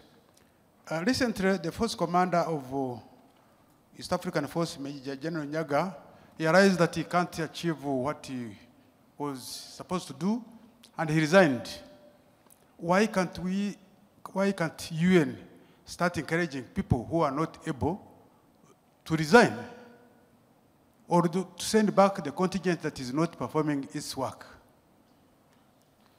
Two, uh, you thanked Rwanda for performing well in different theaters but you find Rwanda at a tactical operational level. We don't see Rwanda at UN headquarters, at mission headquarters, and so on. What is missing? Thank you. Thank you very much, sir. Four. I'd like to make sure we get one or two questions. Have we got any from the, we have one gentleman here. Thank you. Good morning to you all. I'm Mr. Amadou Toure. I'm from Mali. And uh, I would like to greet uh, my brother, General Kazura, who has been the first uh, chief of mission of uh, MINUSMA in Mali. And uh, knowing him very well, because I lived in this country for some years personally, and I've seen him uh, in action, if he has been there until now, I think the results of the mission would have been different. Uh, I'm from Mali, where the MINUSMA has been there for 10 years. In 10 years, if you, you don't succeed, I don't know how, whether, that should be called non-failure. Uh, in 10 years, when they were coming 10 years uh, before, it was only the city of Kidal that was occupied, 24,000 people at a time. Today, Kidal is only 14,000 people, but two-thirds of the country is occupied. It's, it's 800,000 square kilometers. It's 30 times the size, the size 31 times the size of Rwanda that is occupied 10 years later. I think somehow one should call it a failure. And uh, something has to change. I'm an engineer by background. If you apply a solution, once it doesn't work, you change the solution. And that's, for me, that's what is happening. Now, the uh, general job is very right in saying that uh, uh, the, there should be element of trust. And when the MINUSMA, when a, a, an army, the United Nations force is uh, commanded by and led by your former colonizers who've been there for 400 years as in slavery, and then 60 years of uh, colonization. Country was colonized from 1900 to 1960, and 63 years of neo-colonization. The same people are there. So our people simply don't trust them. I, I, and when that's said, it's, it's as if you are throwing them out. No, it's simply the trust is not there because they have changed language over 400, uh, 503 years. Same thing happened. So there is, the element of trust is simply not there. It should be taken not negatively. It's simply we want we, uh, would have, our population would have preferred African forces there present. They will do the job together with Malians. And I think that element should be seen. Uh, we've seen the case of uh, some uh, Western armies. When they come, they hire another country's army to protect them. I understand them well. Why should they come and kill themselves in Mali and be killed in Mali? No. There's no reason for that. But look at the money that is being spent $1.4 billion a year. Uh, and the result is mitigated. And uh, I believe that uh, uh we should uh, try to think how we can make sure that uh, African forces are utilized. And when the host country is there, host country should be uh, used uh, very efficiently, and coordination should be with them. Uh, for your understanding, when Mali army was doing operations, they have to give 72 hours warning to the uh, army that is, was protecting the air, 72 hours. And 100% of the time, they were falling into ambuscade by, by the, the terrorists. So something is wrong there. And last element, when the army is shooting on terrorists, who are not, of course, in uniform, human rights uh, organizations say that they kill civilians because they were not in uniform. And they are using child soldiers when they, those child soldiers are killed in the process, they have killed children as well. So the whole process is being used against the country and fairly. And that's why the element of trust is no longer there. And when the element of trust is not there, I believe that having African, African Union, who was present in, in uh, I, I, should correct uh, Somebody said that uh, in Central African Republic, United Nations was there. No, it was the United the African Union who was there first. MINUSCA was there first, and they did a good job. You know, when the Rwandese army went to Central African Republic, they changed the, the, the story in one month. We know that some of the uh, uh, uh, uh United Nations army were asked to leave some places because they are leaving road to, for the, for the, for the uh, terrorists to pass. So the complicity is there. Is that element of trust should be there, should be there in order for, us to succeed in United Nations. I'm saying it, I'm not a, a, an anti-United Nations because I used to be in a United Nations. I had the chance to lead a United Nations organization for, for eight years. So I trust the United Nations. I, I believe in their mission. But something has to be corrected. We have to use the regional forces, the countries. I think we can better find results uh, in, in that situation. Thank you very much. Thank you, sir. We'll certainly come back to discussing some of those issues. I think we have one question in the back from the gentleman, and then we'll go back to the panel. Yeah, so finally, I get the opportunity to speak. For three days now, I've been trying to do that. Professor Sherif Folarin, uh, um, Department of Political Science, Texas State University, and also an adjunct with the RDF Command and Staff College. Well, listening to the panelists speak, I'm able to uh, kind of uh, draw three strands. The first concerning peacekeeping. The first is um, the practical, and that is uh, you know, the one as espoused by um, General Kazura, where Rwanda went to Mozambique and went to Central African Republic, and we can see the difference almost immediately. That's a practical approach to peace, peacekeeping, as far as I'm concerned. They also listened to General uh, Birame, um, and I think that's a, a, UN theoretical approach, which we have been dealing with over the years or decades. Then I listened to General uh, which of course I believe is more of an eclectic approach, which is very pragmatic. And then I listen to my friend, Professor Apuuli's uh, you know, position, which is more of uh, scrutinizing the United Nations approach and indeed also having a, a dimension of uh, doing a, a scrutiny to all of the other approaches. Now, I think basically that uh, the United Nations uh, peacekeeping operations um, are flawed by the same principles that guide it or that guide them. Um, we did uh, hear that consent is one, impartiality is one, uh, the uh, non-use of force is one, and then self-defense was mentioned by General Birame. Those are very interesting uh, principles. They should be good, actually, but in the context of things and the evolution of, uh, you know, um, conflict and how things, you know, snowball or go out of uh, proportions in, in, recent times, then things should change, basically. Now, in terms of impartiality, and that's where I actually have a serious, serious uh, um, reservation about. Um, what is impartiality in the face of, um, you know, um, a huge humanitarian challenge or genocide, for instance? Um, where, where, where is the place of discretion when you have an advantage group, okay, slaughtering and smothering, uh, you know, a disadvantaged group?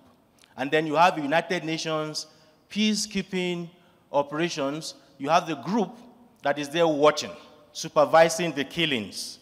Um, where is the place of discretion? Sometimes you have United Nations coming under, uh, you know, um, under threat. Of course, uh, you know, they, we've had cases of, their, of some of their personnel being attacked and being killed, like it happened in April 1994 in Rwanda. Now, I, I, I was thinking that if there is any lesson to be drawn from Rwanda uh, by the United Nations, it should be that there should be an immediate, very urgent, you know, um, uh, reform that should take place as far as, uh, you know, United Nations peacekeeping operations uh, go. I also want to say that um, it is important for us to understand that uh, the morality for impartiality comes to question when you have, to a very large extent, vulnerable groups being subjected to all sorts of, um, you know, threats, uh, subjected to all manner of uh, dehumanization and all of that. And then you have fully kitted, well-equipped, well-armed troops watching as one group is, you know, taking undue advantage of the other group. I think it's, uh, it's a high time that United Nations, you know, uh, tried to look into this and, uh, you know, take, uh, you know, um, the, the right steps in the right direction. And one thing about imperfections, which of course some of the panelists have uh, mentioned, is that I have come to see that imperfections are more prevalent when it comes to peacekeeping operations in Africa. The imperfections are not as visible in places outside the continent of Africa. I would, uh, uh, Cyprus was mentioned, and of course, uh, you know, a couple of other nations around the world are mentioned. We also know the case of Bosnia-Herzegovina and the rest of them, Kosovo and the rest of them. At what point should United Nations invoke the principle of peace enforcement and depart from this old, not too active, probably a little bit sublime, you know, um, peacekeeping, sometimes vague, vacuous, and really not effective. Sorry, sir, I might have to ask you to, to wrap up your question. Thank you very much. And I, I think very largely, just to conclude, I think that um, um, my conclusion basically is that political correctness, okay, and then hypocrisy and probably selectiveness uh, are perhaps the very reasons why we have uh, peacekeeping, uh, you know, uh, operations failing in some parts of the world, particularly in Africa. Thank you. Thank you very much. I think we have about 10 minutes before we have to wrap up this session. So what I'm going to do is go to each of our panelists. You've got about two to three minutes, um, and I might flag a couple of the questions that were raised that may be of particular interest. I might start with you, Professor, if you don't mind. Um, we've had questions here about impartiality and sort of whether peacekeepers are, are um, standing by, sort of, and I think here, you know, impartiality versus neutrality comes into the conversation. Uh, and we've also had discussion, I think, around some of the complexities of missions staying long in the context of Mali. Um, but I'll defer to you if there's a couple of points you'd like to reflect on very briefly. Okay, thank you very much uh, for the comments and the, and the questions. Um, you see, the, we need to recognize that peacekeeping has changed. And from what I have studied, we have about the four generations of peacekeeping. Uh, we have the traditional classical from about 1948 uh, to about 1985, when basically we are talking about interstate conflicts and uh, the interventions that uh, the UN did. Then from about 85 to 89, when there was more cooperation between the big powers, the Soviet Union and the US, uh, and those missions that were established during that time. Um, for example, in, uh, in Namibia, uh, in, which led to the independence of Namibia at that time. And then we have just after the Cold War, up to about 2014, when we go into complex, complex peacekeeping. And then we have from 2014 to date, uh, which is totally now a different thing. So the issue of impartiality as one of the principles of peacekeeping, I think even within the context of the UN, there has been a rethink of that. The idea being that you don't need to stand by uh, when things are going wrong, even when you are a peacekeeper. So you have to, you have to take action. Impartiality simply means that it doesn't mean neutrality. Uh, whenever something is going wrong, then you deal with the wrongdoer uh, as a peacekeeper. But that also is dependent on the mandate that you have and the means that you have. Uh, because if we give you a mandate and the mandate does not, you don't have the means, so how are you going to do it? I think this is really, this is very, very crucial. Now, the other thing which um, the gentleman from Mali is rising, yes, there were forces of AFISMA in Mali before the transition into MINUSMA. Was AFISMA better than, than, than MINUSMA? Again, we can go into an analysis on how, on how that mission functioned. But I can tell you the principle of subsidiarity, uh, where we rely more on the regions, uh, where the African Union argued that they will take the lead. Again, that caused a lot of problems. Because, yes, we have the principle of subsidiarity. It's there, it's there in the, in the Constitutive Act. But the problem has been the competition between, between, between organizations. Who takes the lead? Um, in the case of Mali, again, we can talk about that, and, and it's good that General Kazura is here. Um, the issue about who would take the lead, is it ECOWAS or it's the United Nations? Uh, and we can go to Madagascar, we can go to all these other, all these other, all, all these other issues. So my point here is that the, the, and this would be possibly my wrap up, would be that the way the United Nations peacekeeping has evolved, we as Africans, I think we have realized that we need to do our own things basically. And that's why we are more inclined now to go bilateral. We are more inclined to go ad hoc because of the ineffectiveness that we have seen on the United Nations peacekeeping. Now, is it, are we, are we effective? Because there are all the other issues about finance, there are issues of the mandate, um, and we have not touched even anything about the African standby force, for example, because also that is part of the conversation, the whole African security architecture. Um, so, so, so, so my take simply is this, that as you guys are being deployed, that you need to think very seriously about what um, you demand from the political leadership.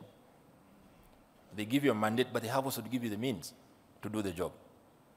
For the first time the other day, I saw the deployment of drones under MONUSCO in, 20, in 2013. This is an innovation, this is a new thing, which means that even the United Nations, even our own, so we are adapting. So there must be an adaptation. And finally, on the issue of women, from the lady who asked about the question of women, we do have now what we call the WPS, the Women, Peace and Security uh, Agenda, within the context of 1325. And if you see the pillars under 1325, you have prevention, protection, participation, and relief, uh, and relief and recovery. So within this context and the new, uh, the general was talking about these declarations, uh, F4PI plus is talking about actually women participation, women participation in peacekeeping. Uh, and so, so, so there is an adaptation. So I think there are certain things, there are certain changes which we need to realize which are taking place in this. And that, that is the trend. Thank you. Thank you, Professor. I think they're the innovation in peacekeeping that we've seen as an ongoing theme, and hopefully, you know, we, we get to that point in the future where it continues to innovate. Um, General Shailesh, um, any reflections or thoughts yeah, on some of the questions I raised? think uh, the whole community is there in this together, but whatever works, works. If it is going to be only bilateral, very good. If it is only going to be regional, excellent. If it goes beyond that, if there is assistance required uh, from multilateral agencies, so we leave that for, the, for, for others to decide. Uh, but yes, there has to be coordination, there has to be cooperation, and finally, there has to be some relief, there has to be a peace dividend for the people uh, to whom, for, for whom we, we do get deployed. But leave that apart. And I just want to say this to uh, the officers of the Rwandan Defense Forces. Leave the politics aside. When you get deployed, you'll get deployed as contingents or you'll get deployed as staff officers. Please see that you always project an image of, effic of efficiency, of professionalism, and in your role, display the confidence that is required that inspires the people that this is a force for good. You cannot change a state, or you may not be able to make a huge difference, but within your sphere of influence, wherever you are deployed, please see that the people there have your trust, the people there are able to back you, and you gain their confidence. And you can only gain their confidence when you are able to reach out to them when they require you the most. Please do not hesitate. Please do not have second thoughts or whatever happens in the public domain, whatever happens as far as politics go. Just focus on that mission. RDF has been doing a fantastic job. Uh, please see that you continue to do this, continue to interact, continue to engage, and maintain that that trust of the people in whichever area that you are in. If you feel that going out is going to be a huge risk, is, is, go, is going to be a consequence to your, to your security, please take adequate steps.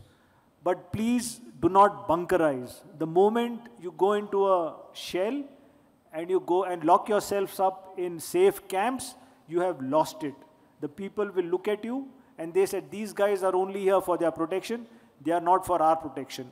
The other thing that I've noticed across the mission, and I'm sure my brother General Diop is going to address, that there are, one company has a strength of 150. Now 150 is a large strength, but out of that only 20 to 25 are able to go out at one time. The rest are all deployed on security of camps. Now that is not acceptable to anybody. So you need to see that your security, basic security requirements are, are lowered. You need to have the kind of equipment uh, that can keep you safe, that uh, enables you to deploy, and let the people see you as a force of protection, not as a force of out here who are just guests who come in, stay here for a year and go. That needs, that demands, uh, RDF soldiers are known to do that.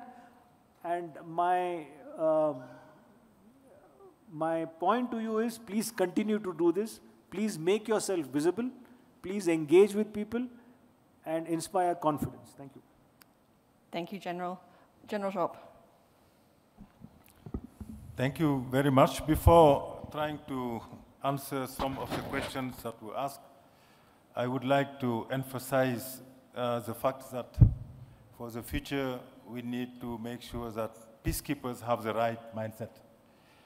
Because, you know, you can be given the best equipment possible, but if you do not believe in yourself, if you don't commit to the mission you are given, and if you are not engaged, it can be extremely difficult for you to bring value added to what is being done by in, within the mission. So mindset is key.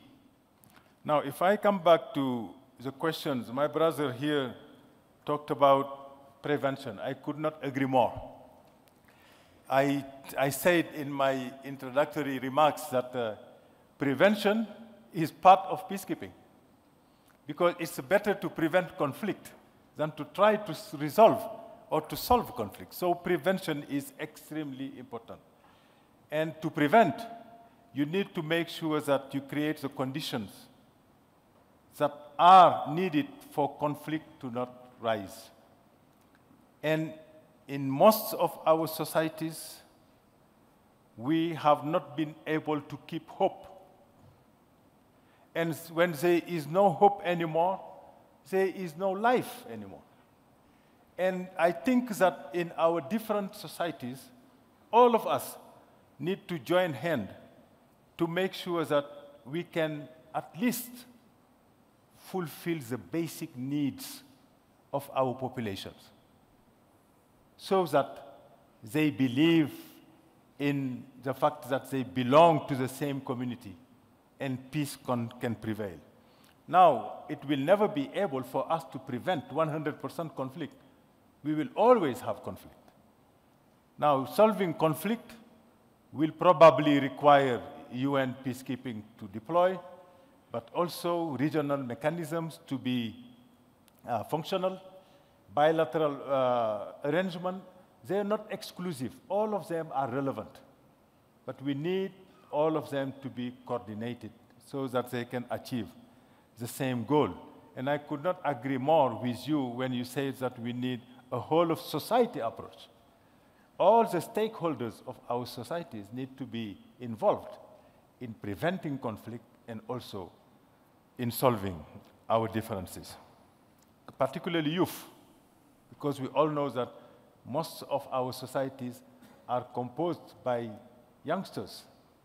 And most of them, unfortunately, are inactive. Some of them are even not hopeful that one day they will be active so they do not have the same software as people, as, as, as what we consider as being uh, normal people.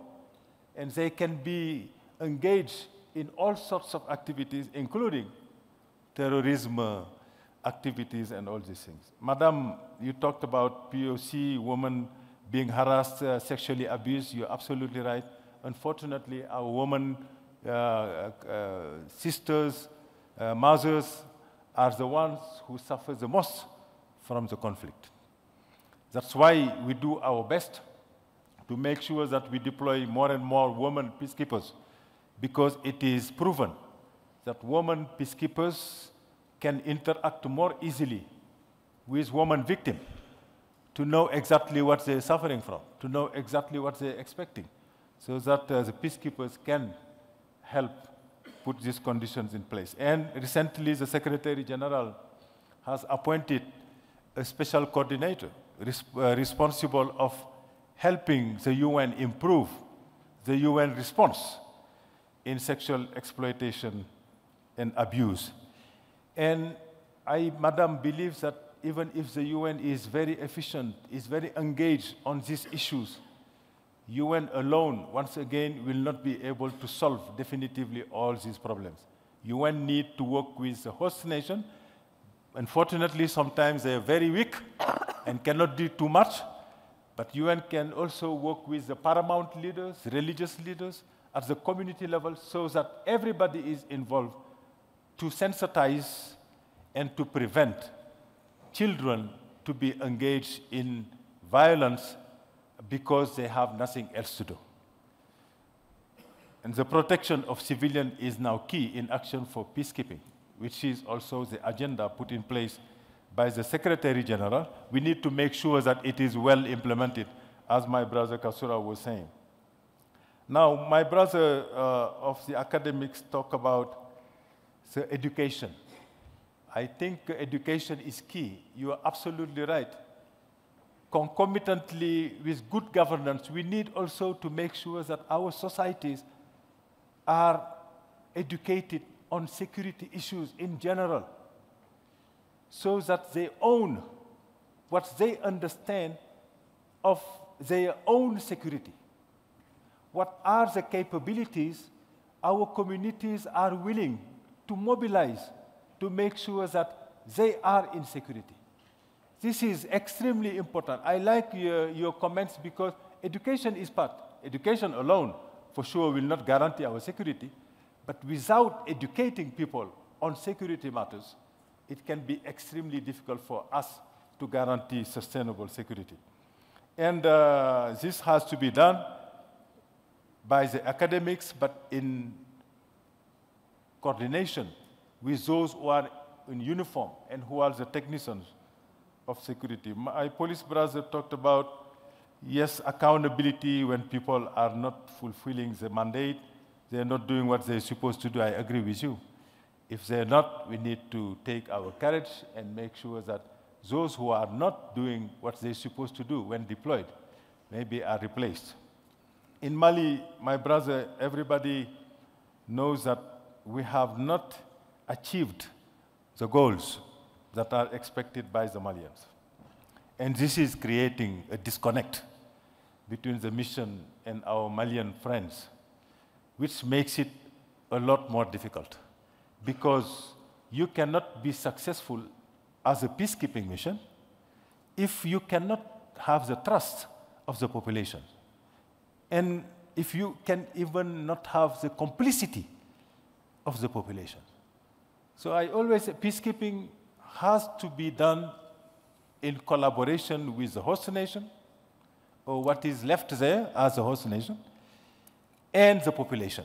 If it is not the case, it can be difficult. But if you go back to the mandate that is given to the MINUSMA, my brother, you will see that we're asking the MINUSMA to accompany the Malian state in implementing the peace agreement. Very general we are asking the peacekeepers to also accompany the Malian state to develop and implement a social, economic, and security strategy in the center of Mali. And finally, we are asking the mission every quarter to uh, present a report on human rights violation to the Secretary General. There is nowhere we are asking the peacekeepers to fight against the armed groups, to fight against the terrorist group. That is the problem. And you can implement only a mandate that you are given. Now, that is why next to MINUSMA, we had a coalition of the willings. We had Barkhane, we had Takuba, normally whose responsibility under a UN resolution was to fight against the terrorist group. So this combination, in my opinion, is the future of peacekeeping. Because once again, the conservatives in the peacekeeping are sure that the day peacekeepers will be perceived as active actors of the conflict, this same day, peacekeeping will die. Because we will not have anymore the impartiality that is the backbone of peacekeeping. Now, impartiality does not mean inactivity. No, that does not mean, my brother, impartiality is avoiding to side in an obvious manner with one of the belligerent. We cannot deploy to side with one of the belligerent, but we have this extremely important responsibility to make sure that we protect the civilians. Those who are vulnerable, we have to protect them. That's why we are more and more proactive in our missions. We are more and more, sometimes even offensive, to make sure that we protect the civilians. And the Secretary General has made it very clear as the second priority of action for peacekeeping. Now, the last one, yeah, it, it, uh, it was the last. Those are the answers I could give to all the questions. Thank you very much. Thank you, General Diop. I think you covered a, an array of those questions that were outlined there. Um, I have been notified we have a tiny bit more time, so, um, and I was still going to come to you, General Kazura, in terms of your responses, but maybe to pick up um, on the question about Mali, you were the first force commander of the UN mission that went in there. Um, sort of your reflections from that experience, and I guess any of the other points that have been raised. I know there was a point about military education and a few things which might be very um, timely to, to conclude on today as well. Thank you once again. And uh, first of all, before I come to that, I would, I would request, especially the students and uh, others, from the discussion, from here to learn that uh, nobody from anywhere is going to, to give you peace because somebody from somewhere will come to help you to keep peace. So please find peace, then let somebody else, if necessary, to help you to keep your own peace. Secondly, in whatever you have said, here and elsewhere, nobody would wish to have other forces deploying in your own country. They can come to work with you, but if you have peace and you, you will be able to develop, you will be able to give to your people what they want. So the ultimate goal is to be peaceful. And please find your own peace first of all.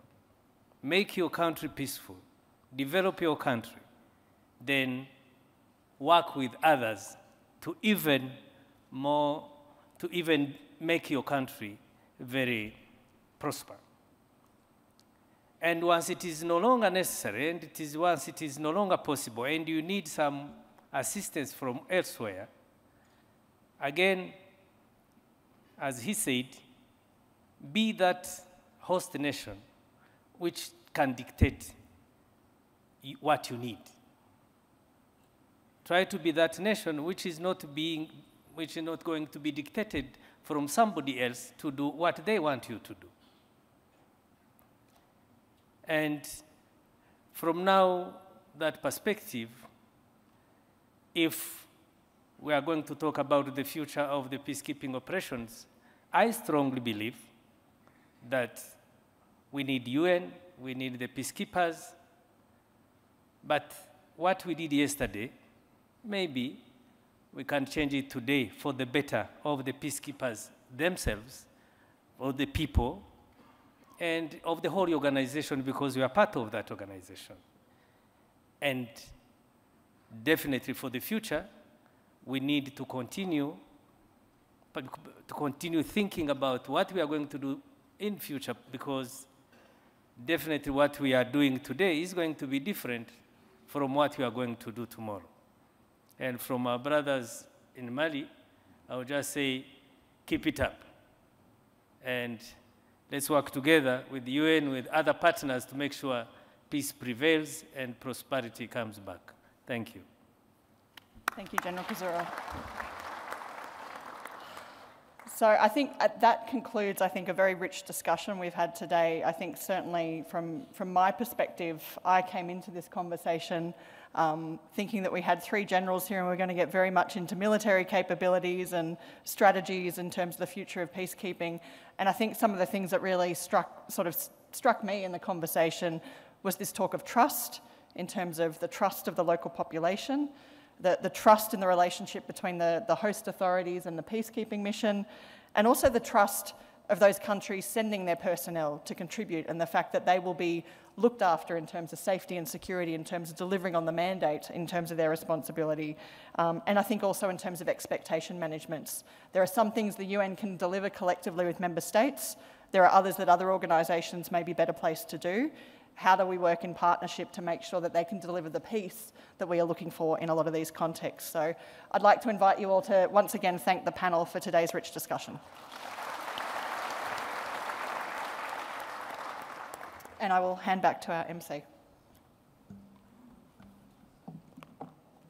Thank you very much, Lisa, for an excellent uh, moderation of our last session. And thank you very much, uh, the panel, for a very good discussion today. Please, you may take your seats.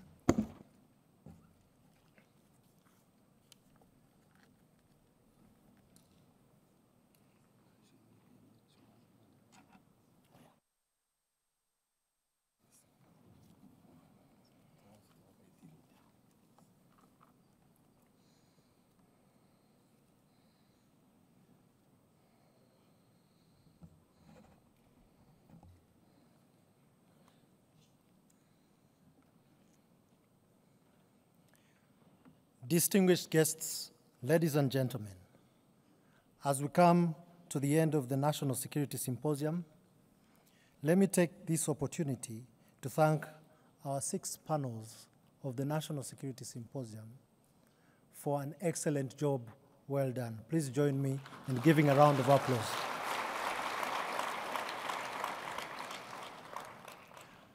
This is an annual event that has a, revolving theme so we will be back next year, same month, for the 11th National Security Symposium.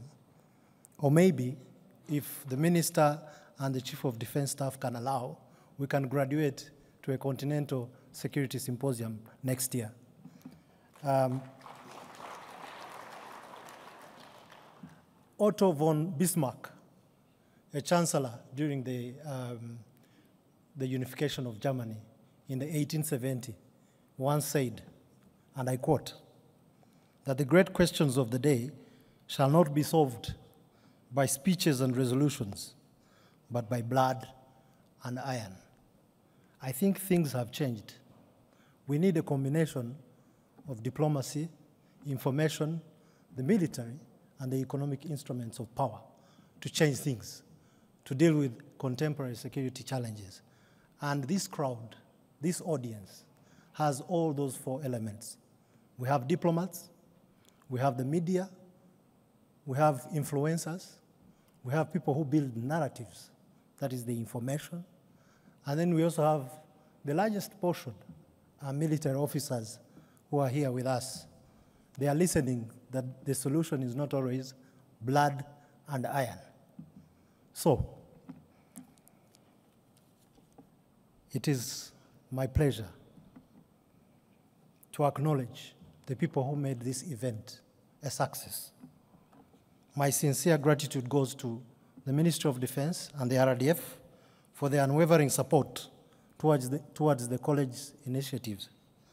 I also wish to extend my appreciation to our international, regional partners, University of Rwanda, and other national universities, media houses who, whose relentless and continued support has made this event a success. Special thanks go to our sister command and staff colleges in the region and beyond who are highly represented in these events. Thank you very much. We are grateful for your continued solidarity.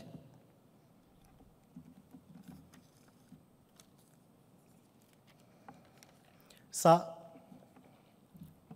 before we move uh, to the last part of this symposium, which is the luncheon, and we say our goodbyes, we shall have the closing ceremony. And in the closing ceremony, the Honorable Minister of Defense will give his closing remarks. You're welcome, sir.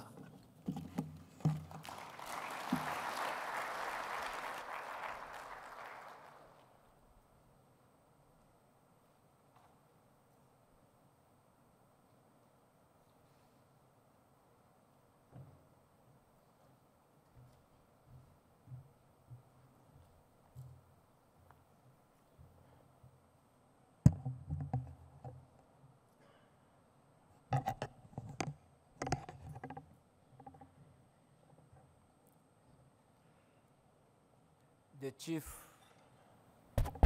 the chief of defense staff, service chiefs, excellencies, ambassadors,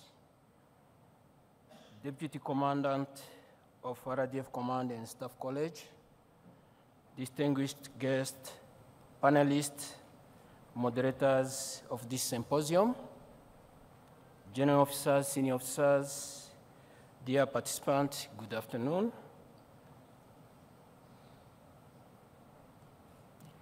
It's my honor to be with you this afternoon for the closing ceremony of another yet National Security Symposium on the theme Contemporary Security Challenges, the African Perspective.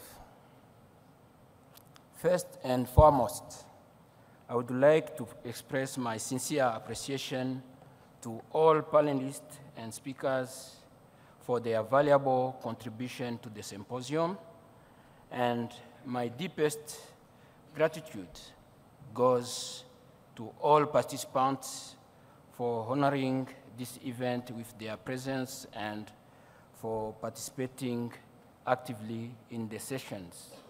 I thank you most sincerely. I would like to also commend the college, University of Rwanda, Rwanda Convention Bureau for the excellent planning and execution of this symposium. I wish to applaud Kigali Convention Center and Radisson Blu for being excellent hosts. Thank you Rwanda events for turning our abstract wishes and designs into reality. We all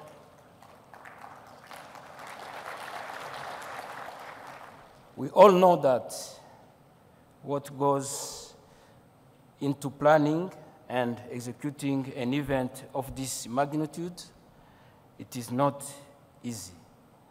We are extremely appreciative to you for a well-planned, well-executed, and enjoyable conference.